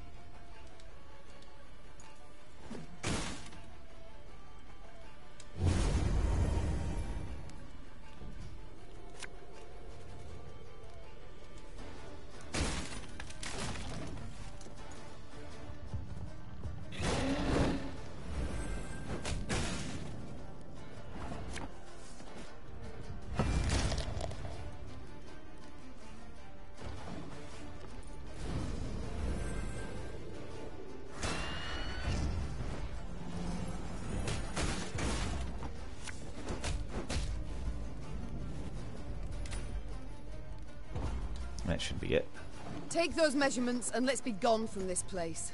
I have the power! What? The Lyrians managed to repel the monsters and reach I both love you too, peaks. kitty. Upon each, Meve ordered her men to take the measurements. While waiting, she admired the breathtaking view of the Mahakaman Massif. The dwarven contraption left no room for doubt. The peak within the Dahlberg clan territory was two feet higher than that within Hoog territory. Gabor was clearly displeased with the results. Oh, damn it all! I'd hoped you'd prove Brouver's clan was in the right. He'd have been content to see the Dahlbergs knocked down a peg or two, and, possibly, he'd have been more inclined to help you. said the dwarf in frustration. Then, after a pause, he added, Although, only you saw what the device showed, Queen. Perhaps you could, uh, No. recalibrate the results a wee No. bit? No. To lie would be simple, true. said Meve. Yet to forget the matter would be so much harder. No, Gabor, I shall tell the truth. The Queen's tone made it clear the discussion was over. Gabor let the matter lie, and Meve's force began its descent down the mountainside.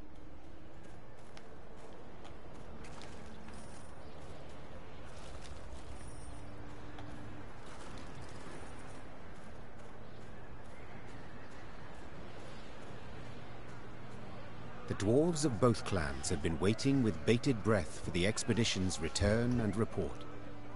As soon as Meve announced the results, the Dahlbergs rolled barrels of beer out into the square and began to celebrate.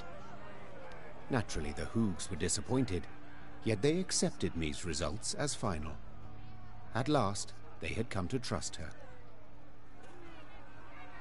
Dahlbergs are the dwarves we need. Every hoogs are dunderheed.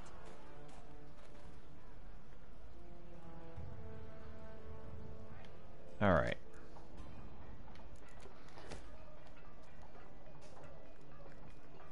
Not going to get there. Not going to get there either. That's a maybe, but unlikely. That's even less likely. Ah, I could probably sell everything and get there. I don't even think I would use it, though. Of course, I can't get there unless I get to the other one. I don't think I can get here either. So yeah, we're just kind of stuck, stuck where we're at. Oh, oh, oh.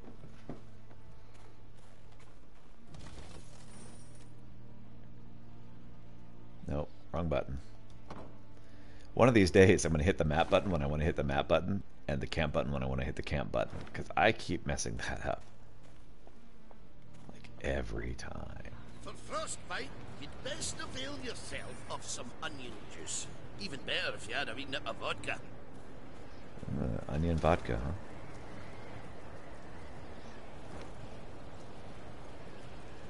As Meve neared Langbridge, she ordered her bugler to announce her arrival, then retired to her tent to freshen up.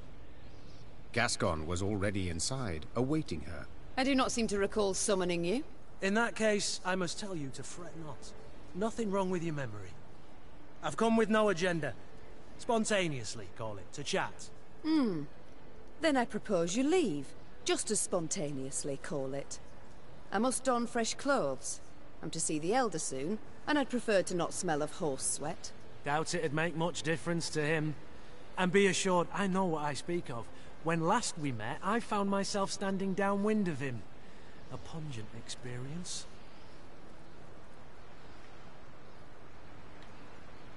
My patience is near its end, Gascon. Either state your business, or I shall have the guards escort you out. Ugh.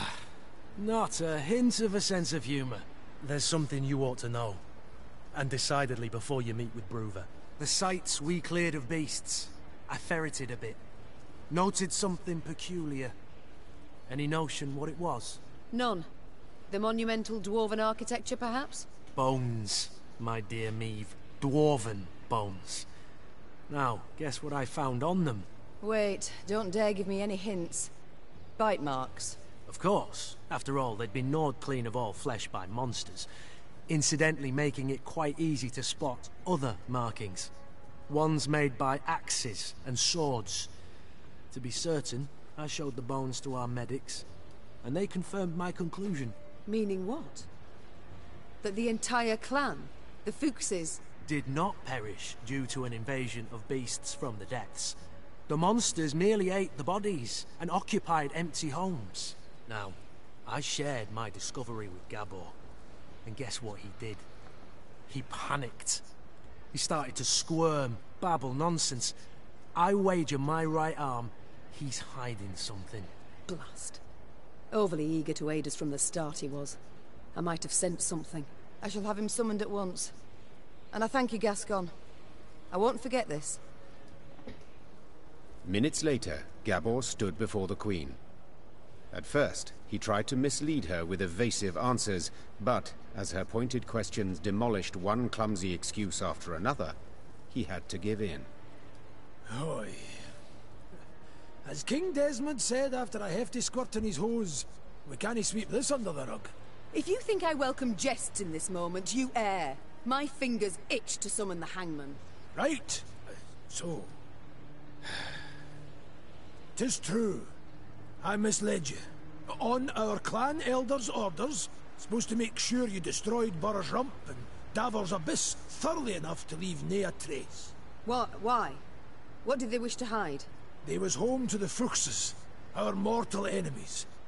They'd been a boiling our heinies for ages, thumbing their noses, taking what they want when they want.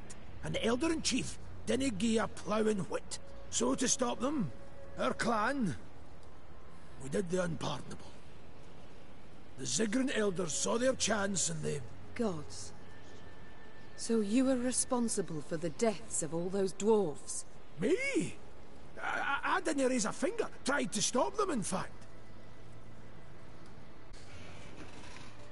No witnesses survived. Meaning you must have murdered the entire clan. How? Queen, you sure you... I am. And you should be sure to answer in full, omitting no detail.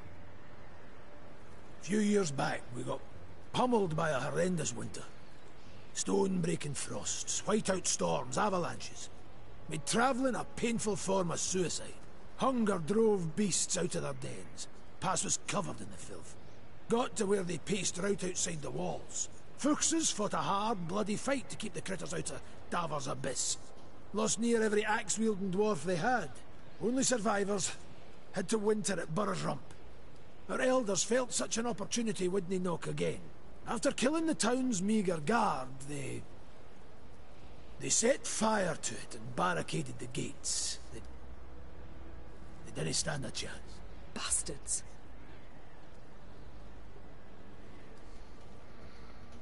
How in the world did the truth go undiscovered? Once it were over, our dwarves opened the gates. Before they'd lit their pipes, starving beasts came crawling out of the pass. The stank of dead flesh were strong. Zigrins who came back from that never were the same. If you'd only gandered their gaze when they had us all take a vow of silence. And then... You invented that blarney about primeval monstrosities the Fuchses had awoken by mining too deep. A riveting tale, and one with a moral to boot. Aye. But the Elders worried Brouver would suspect something all the same. That's why they wanted you to destroy all the evidence. Repugnant. You claim not to have taken part, but neither did you do anything to stop the massacre. What was I to do exactly? The Elders had decided. Nae dwarf would listen to me. You might have informed the Elder-in-Chief. The guilty would have been punished. The guilty? You didn't ken Brouver. He'd punish the whole clan. Women, children. Nae exceptions. Meve. Queen. I'm begging you. He canna ever learn of this. Aye, I want a hack flame too when I think what the Elder's done. But t'other way it'd bring but more pain and death.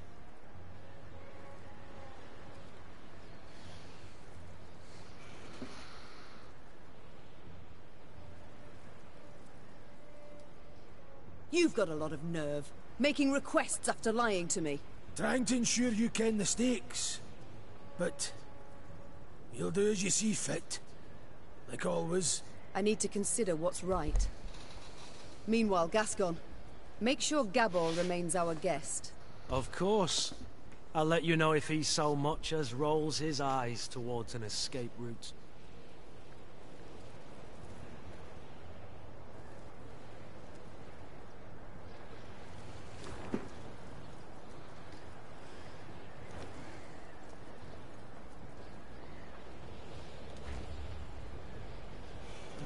Approaching an important moment in your journey. If you choose to continue, you will not be able to return to any unfinished activity in the area. We finished 12 quests in 8 hours. There's 6 puzzles completed, 5 standard battles won. We got 6 out of 8 golden chests. Brouver stood by the bridge like a statue, arms crossed, eyes squinting. Meve sighed inside. She stood little chance of having a pleasant chat. Elder-in-Chief, sir. No Sharon and Grayson here, lass plowing humans. Always out to fix things, always end up cocking them up. You think you're due glory, do you? Monster Slayer Meve? Patroness of dwarves? Blast it. What do you think? Why didn't I exterminate those beasts myself, eh? Go on, tell me! For you... For I didn't want to. For something didn't fit, damn it. So I resolved to not destroy their nests and evidence till I learned the truth of who done it. Postponed it all those years expressly. Though your subjects were dying. I dinna need no lectures from the likes of you. Justice must be served. That's worth any price. And I was close. Had leads. And now, it's all gone to hell. You flooded Davor's abyss. You brought Boros rump down on itself. And I'll never ken who killed the Fuchses. Understand? Never!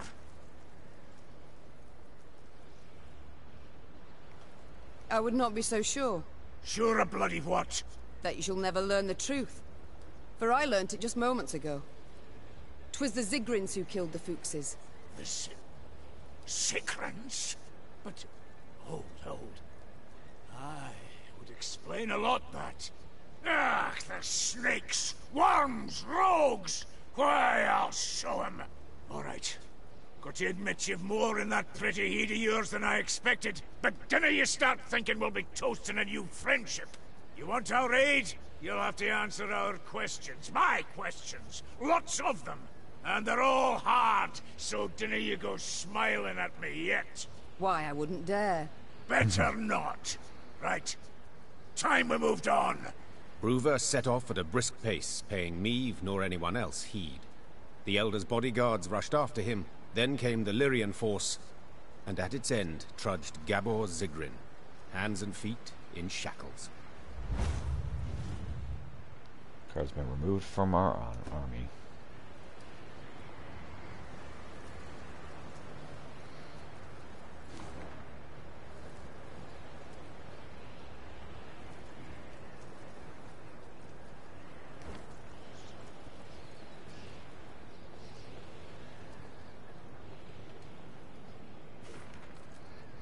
On land bridge, it is strictly forbidden to stomp, jump, lean over the edge, stop for a rest, carve runes in the handrails. Hoo hoo ha! Wanted to hunt monsters, eh? Dwarves demonstrate innovative thinking in many domains. Metallurgy, engineering, architecture. Yet there is one in which they could not be bothered. Naming. For this reason, the bridge that linked the Mahakam Pass with Mount Carbon was simply named Langbridge. Meve learned it was a thoroughly fitting name.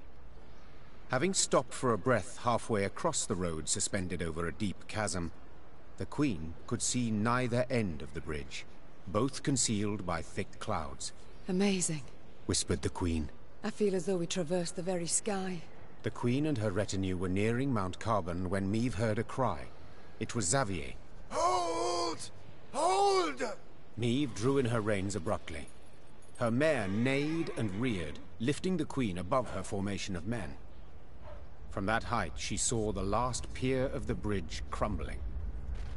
The dwarves at the head of the procession were unable to stop in time and plummeted, screaming into the abyss. What's the meaning of this, God damn it? Brouver roared. Fetch the engineers! No! The Queen was striving to calm her spooked mount when she sensed something swish past her ear. Out of nowhere, a Scoia'tael band had appeared at the rear of the column.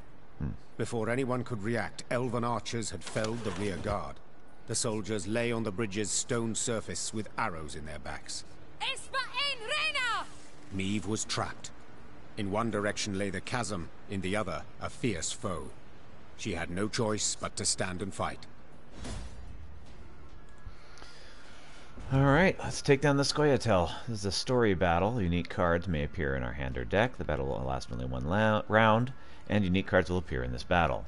The Lyrians watched in disbelief as Scoia'tael warriors slit the throats of Mahakam guards. How could this be? Non-humans against non-humans? To what end? Could it be the elder races do not uniformly support the squirrel's cause? No doubt these questions and more plagued the men's thoughts, yet it was not the time to entertain them. This was the time to fight.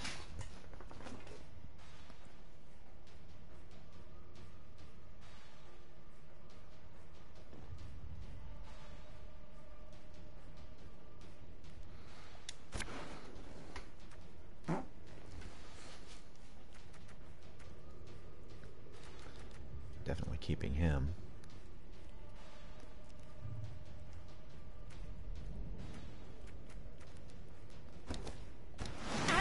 Rena! You are mine! We're trapped, Your Grace, but we can try and fight our way through. Edoran!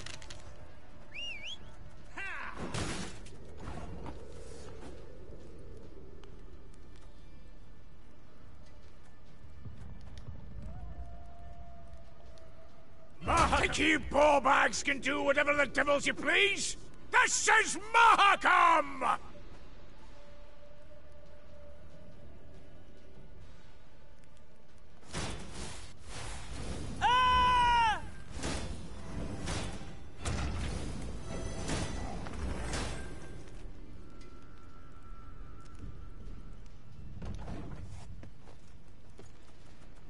Got business for me?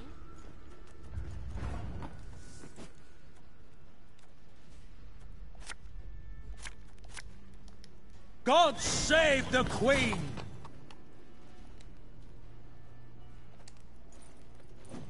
Ah!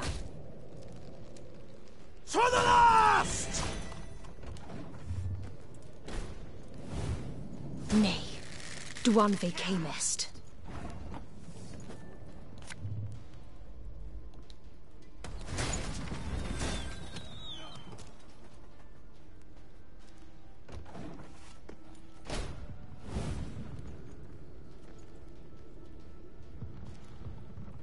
Special prize, just for you, love.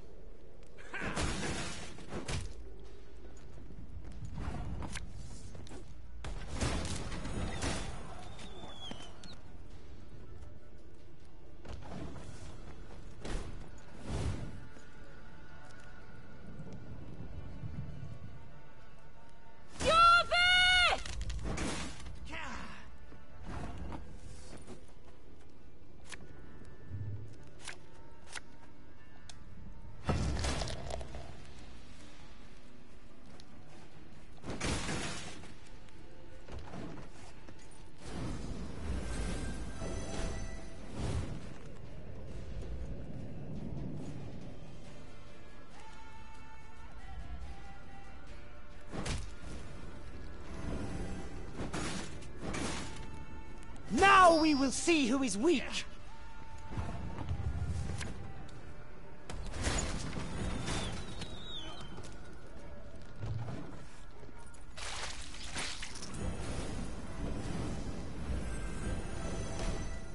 Dog ate my ale. You did not have permission to do that, puppy.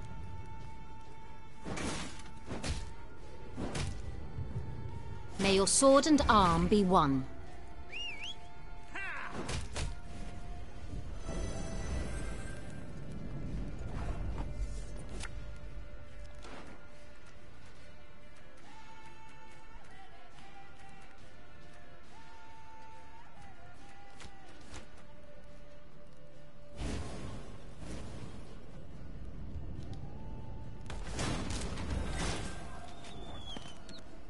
I'd hoped we could solve this some other way.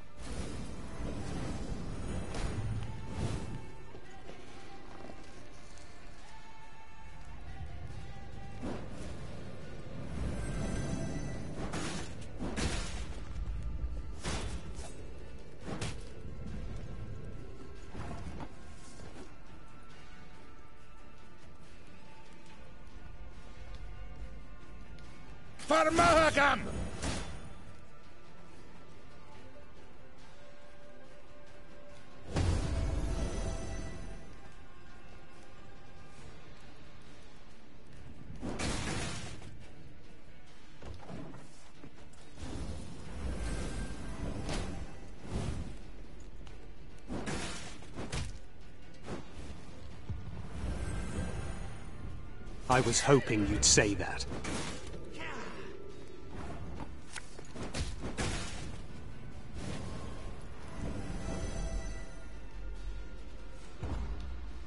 That should be it, right?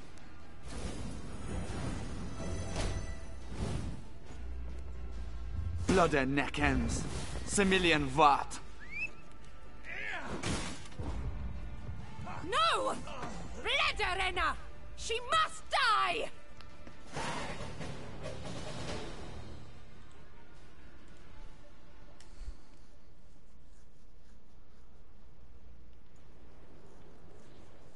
Their strength combined, the Lyrians and dwarves managed to defeat the Scoia'tael.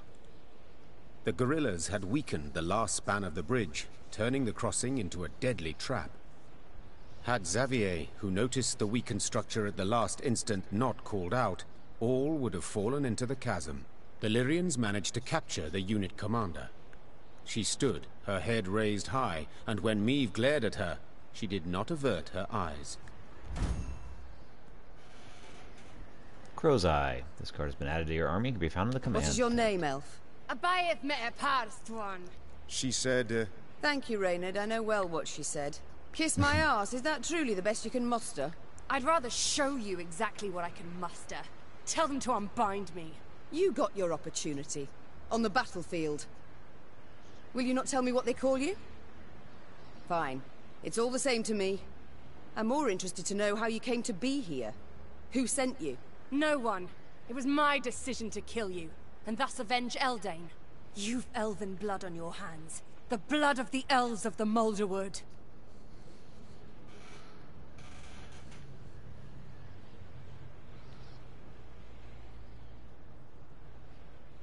I regret the events of the Mulderwood. I did not wish those elves' deaths. Yet they left me no choice. What choice would you give a murderer who invaded your home? You know I envy you. To see the world solely as black or white, it must simplify things so. Enough. I've heard all I wish to hear. But I haven't. Did you fall on your heed, elf, eh? If you want to fight humans, go on and do it. You cannot talk sense to Egypts and nay here, damn it.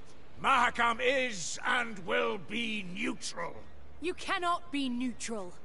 To Dwan, you are either their foe or their dog. Mahakam has stood aside sleeping long enough.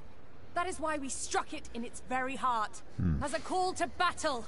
A call to brethren whom you, Elder, have kept from the world too long. I have kept him away. I've been bloody right to do so. You want to play at war, you numpties? You want to force the Pontar to flow upstream? Gang right ahead. Good riddance, I say. Gan kill, gan die if you fancy. But God's damn it, leave us alone. Yeah, I should kill you. With my own hands. I should cut your throat, put you out of your misery. That's what you want, innit? To die? To die a stupid death? Well, I'll not grant you that. Nay, nay, I'll lock you in a tower. Sit there three centuries, and you just might grow a brain. Brouver Hoog gazed after the shackled elf as she was led away. Meve expected him to continue fuming, cursing her. But the dwarf stood silent. And his old eyes, half concealed by brows bushy as a forest floor, showed not anger, but the deepest sadness. Dwarven engineers made quick work of repairing the crumbled bridge span.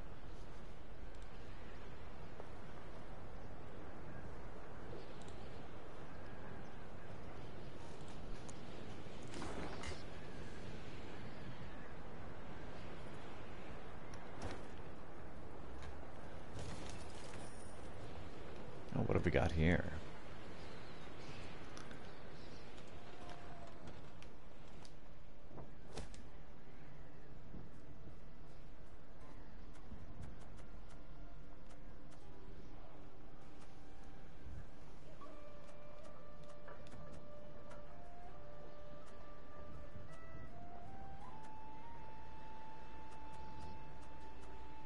Uh, there we go. Crow's Eye. Move six random enemies to the other row and damage them by two. Oh, I can see that being very useful. Not gonna go there.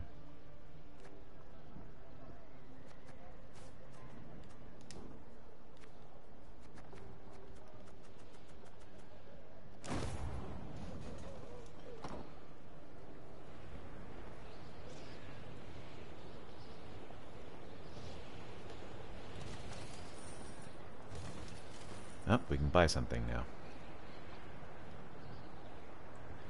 What do we have supplies for?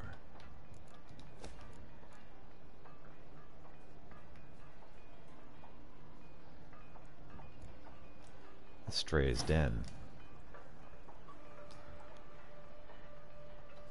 I don't think that's anything I can use.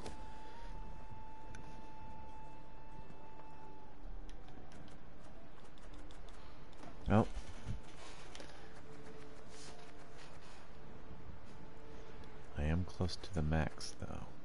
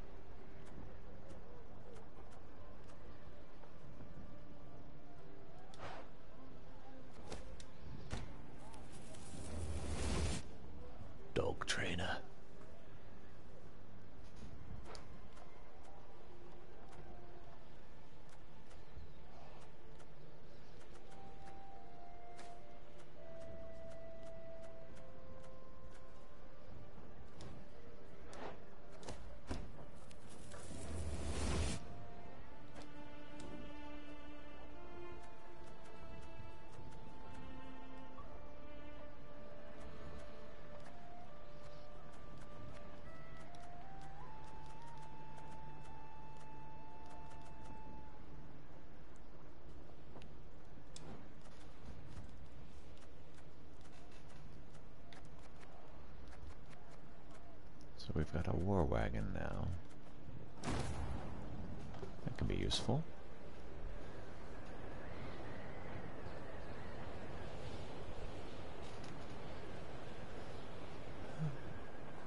Look, Mount Carbon. Damn. And I thought Novigrad was big. So the elves are against us. Against our elder. Treacherous hounds. Mount Carbon, wipe your feet, comb your beard, but foreign garb not belong here. Carbon's heart, can you hear the throb? You're a dwarf, damn it, not a slob. Hoo ha!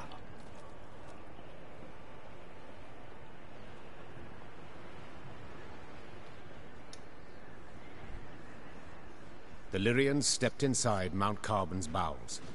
Meve rode while looking upwards, admiring the intricately carved ceiling, gilded walls, monumental bas-reliefs carved from basalt. Yet this was no time to admire the sights.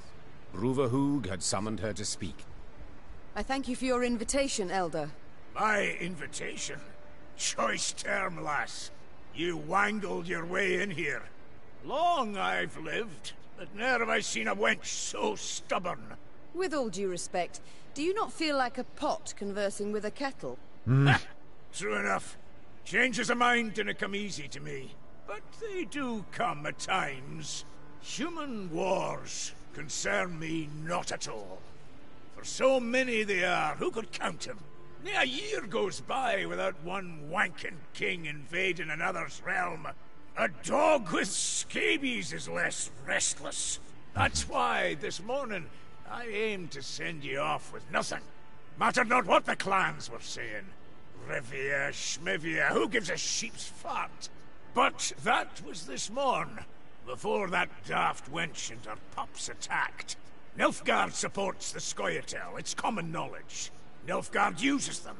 Well, I'm nae worse, and I choose to use Queen Meve. Hmm. So what use would you make of me, if I might ask? You've a plan? Aye, the kind dwarves like best. Simple, but sneaky. Like to give Nilfgaard a warning, you ken. If you're going to rile my dwarves, throw 'em into the Scoia'tael ranks, you'll regret it, aye? But I'd like to issue the warning without declaring war. All clear to you so far? So, when you march out of Mahakam, you'll find a company of our foot dwarves waiting out with the gate. Officially, volunteers enlisting with you against my will. And you're to put them at the fore next time you face Nilfgaard. Want the Blackclads to break their teeth on our bucklers, get a taste of our axe blades. After that, dare say they'll think twice before they send more Scoia'tael into these hells. I do not... Thank you, Elder. You restore my hope that I shall have my home back in the end. Faith can move mountains, aye, but it can't do much about borders. I've watched you close, and must admit you're a plucky lass. that enough for Nilfgaard? Can I be sure?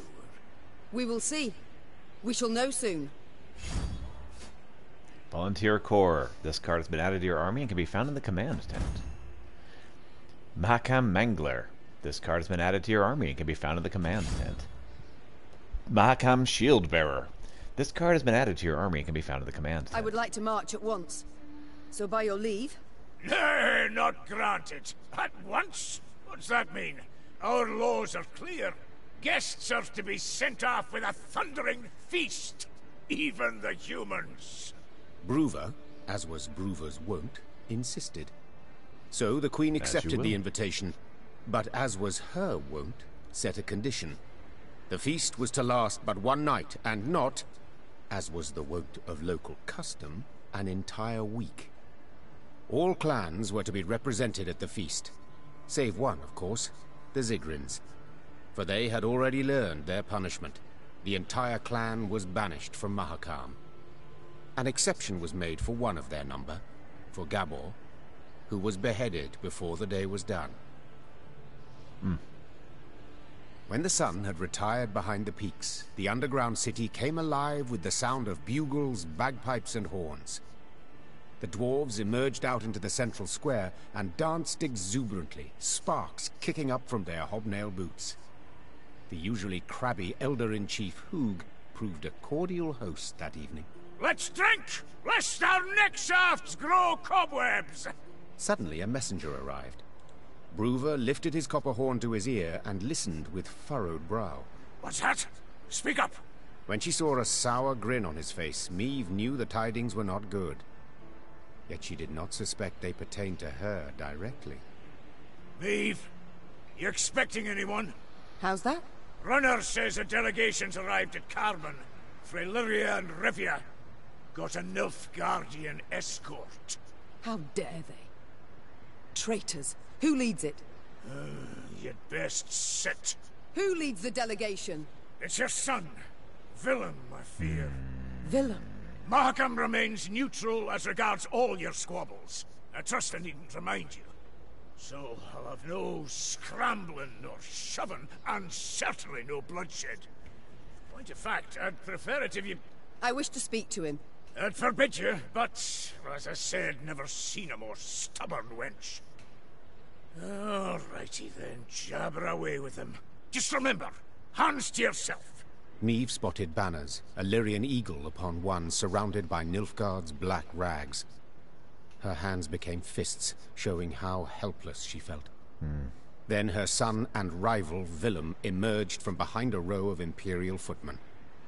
My, my. I should apologize. It seems I missed the coronation. Congratulations, my son. Who was it who placed the crown? General aep Dahy? Count Caldwell. Ah, yes. Our elder statesman. Why have you come here, of all places? To acquire arms for Nilfgaard? As my official mission, yes. Yet unofficially, I wish to speak with you. I trust you've had tidings from the field. Aedirn turned to ash and dust. Vizimir murdered Redania in chaos. Foltest forced to strike a pact by his vassals betrayed, Henselt the same. This limerick, will it come to a point? Why, yes. To the same as this war. Mother, I beg you, you must see it. N Nilfgaard's victory is inevitable.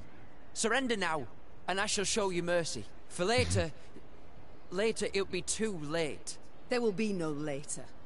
We shall repel them, drive them south at the points of our pikes. This we, Mother? Who precisely do you mean? You stand alone.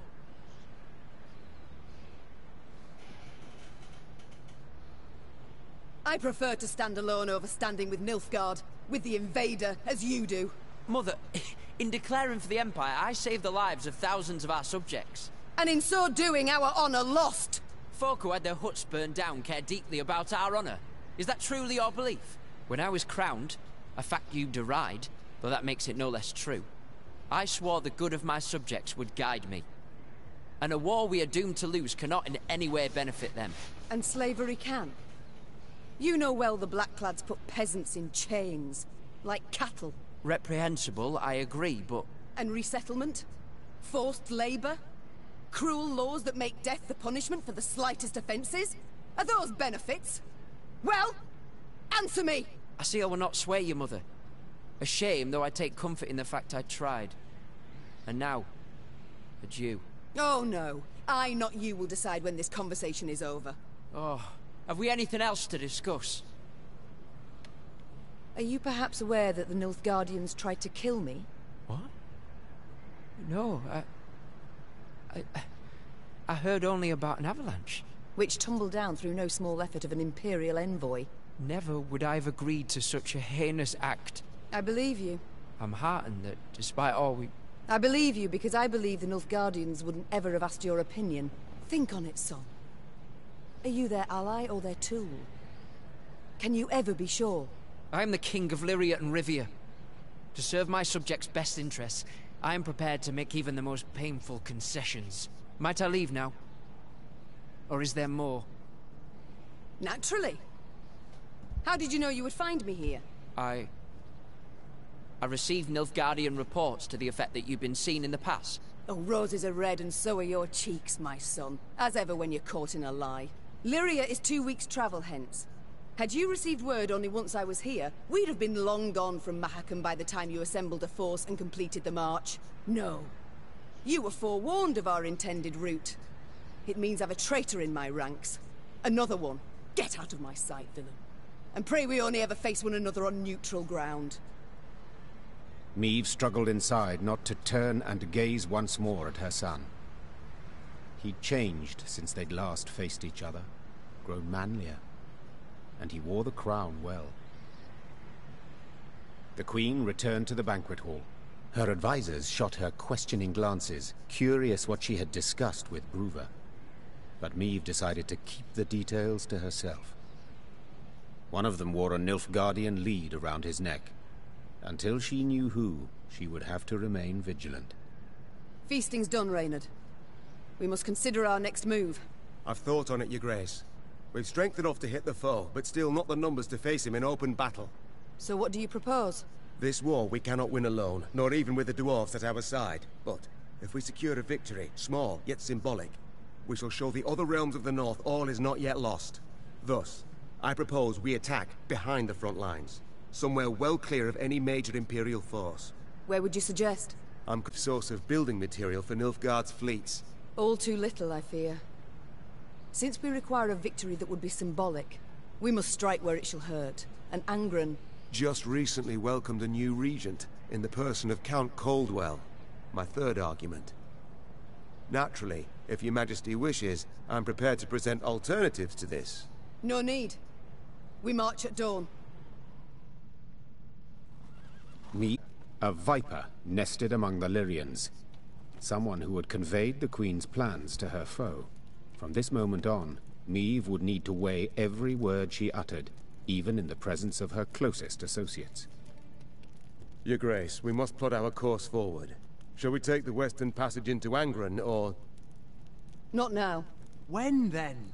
Dawn approaches, yet we know nothing of where... I will not repeat myself. The Queen knew she would learn the traitor's identity in the end. If need be, she would tear the name from the throat of another turncoat, Count Caldwell.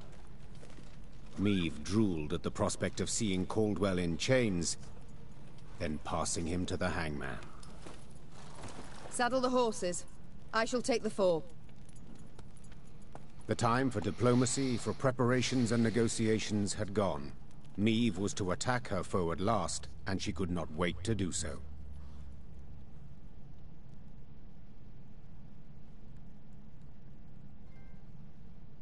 We have the high ground.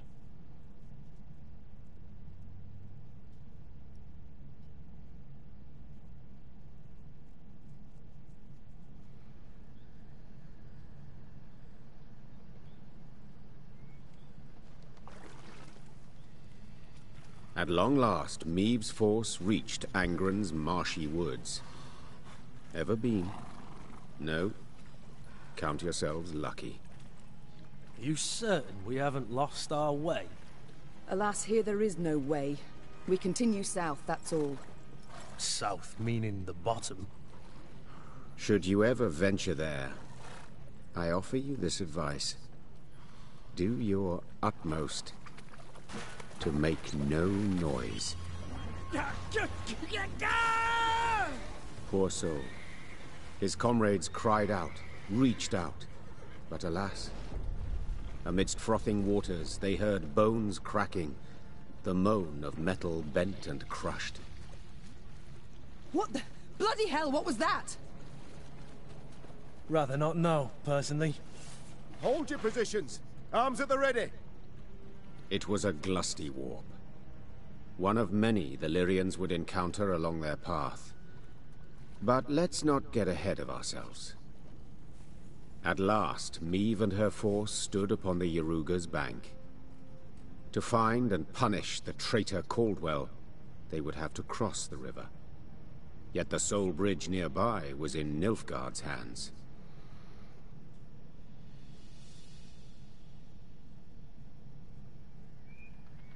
Your Majesty, some new reports require your attention. All right, well, let's read them. Report, Angren. Angren, partly under Nilfgaardian control. Black-clad troops hold key fortresses and transportation arteries, but little beyond that. Swampy wilds remain uncharted, untamed. Count Caldwell rules Angren, in behalf of the Emperor. Commands small division of Tulsa Castle, south of the swamps. Nilfgaardian troops also supervise log-cutting operations supplying their fleet. Further danger presented by monster attacks, foul beasts present, uh, present in Angren's wetlands in numbers far exceeding those found elsewhere. Letter from Brouver Neville, remember that volunteers from Mahakam aren't to go without victuals, bevies, or brawls. Do not be stingy and paying, and make sure they don't churn about with other troops more than the absolute minimum. Keep them segregated. I do not want any of your idiotic human fashions depraving my decent dwarves and infecting the mountains when they get back. BH. PH. If you fight the blackclads with the same mule-headedness you showed me, they're in for a solid beating. Dinna give up. Letter from Captain Tobias, number three. Your Majesty, you surely know already Count Caldwell's been handed control of Angren. Your son Villem seized this chance to assert his independence. When General Deep Vaides, sorry, General aep Dahy is absent from the capital, the young prince pushes his own decrees through the Council of Peers. It is not for me to judge whether this is all according to some plan of the invaders. Yesterday, emissaries from Temeria and Kaedwen came to court. I'm afraid they seek to cut a deal with the Nilfgaardians. If Redania joins them, the war will end, and the enemy shall triumph. My lady, the North needs victory, and you must know your fight is of the utmost importance. We need you now more than ever. Captain Tobias.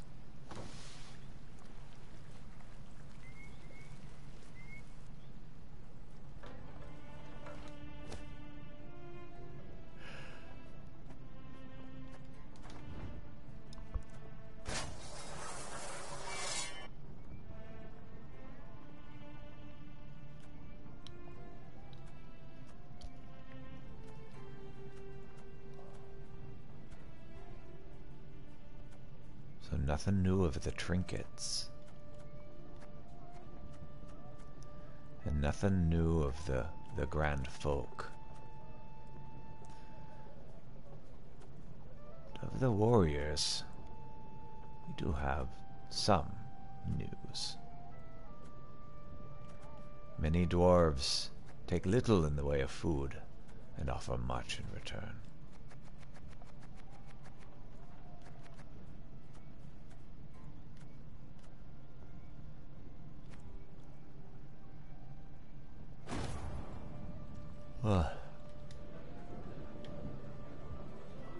Yes, Your Grace? Reynard, you fought in the first war against Nilfgaard, did you not? Yes, Your Grace. Though, as a mere captain then. Were they equally cruel? Did they scorch fields, turn peasants into slaves? No, Your Grace. They fought with honor in those days. So, what's happened? Why the change? It's said Emperor Emhyr var Emreis's heart hardened over the years. He's grown crueler, more ruthless. His soldiers' zeal for violence has followed suit. But you don't say that. No, Your Grace. To your mind, why do they now despise us as they war against us? Tis ever easier to loathe those you know.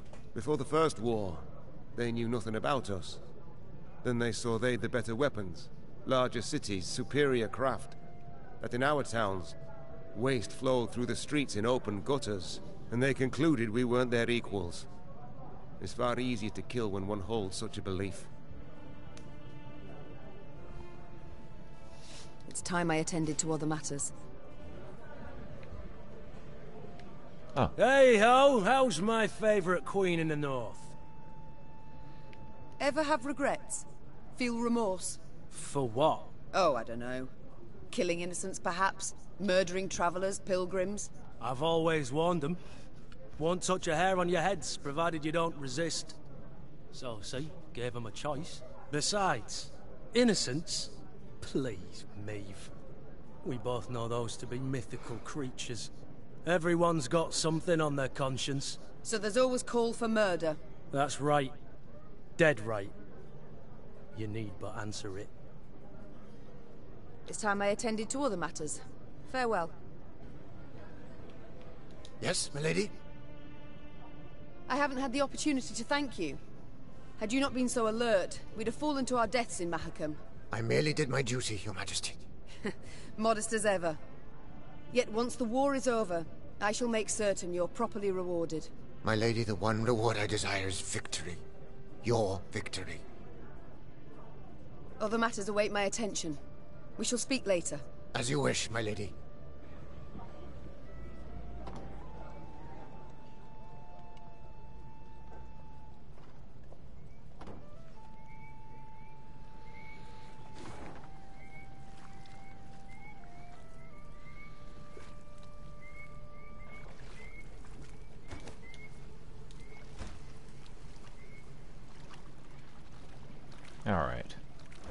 Seems like a good place to stop.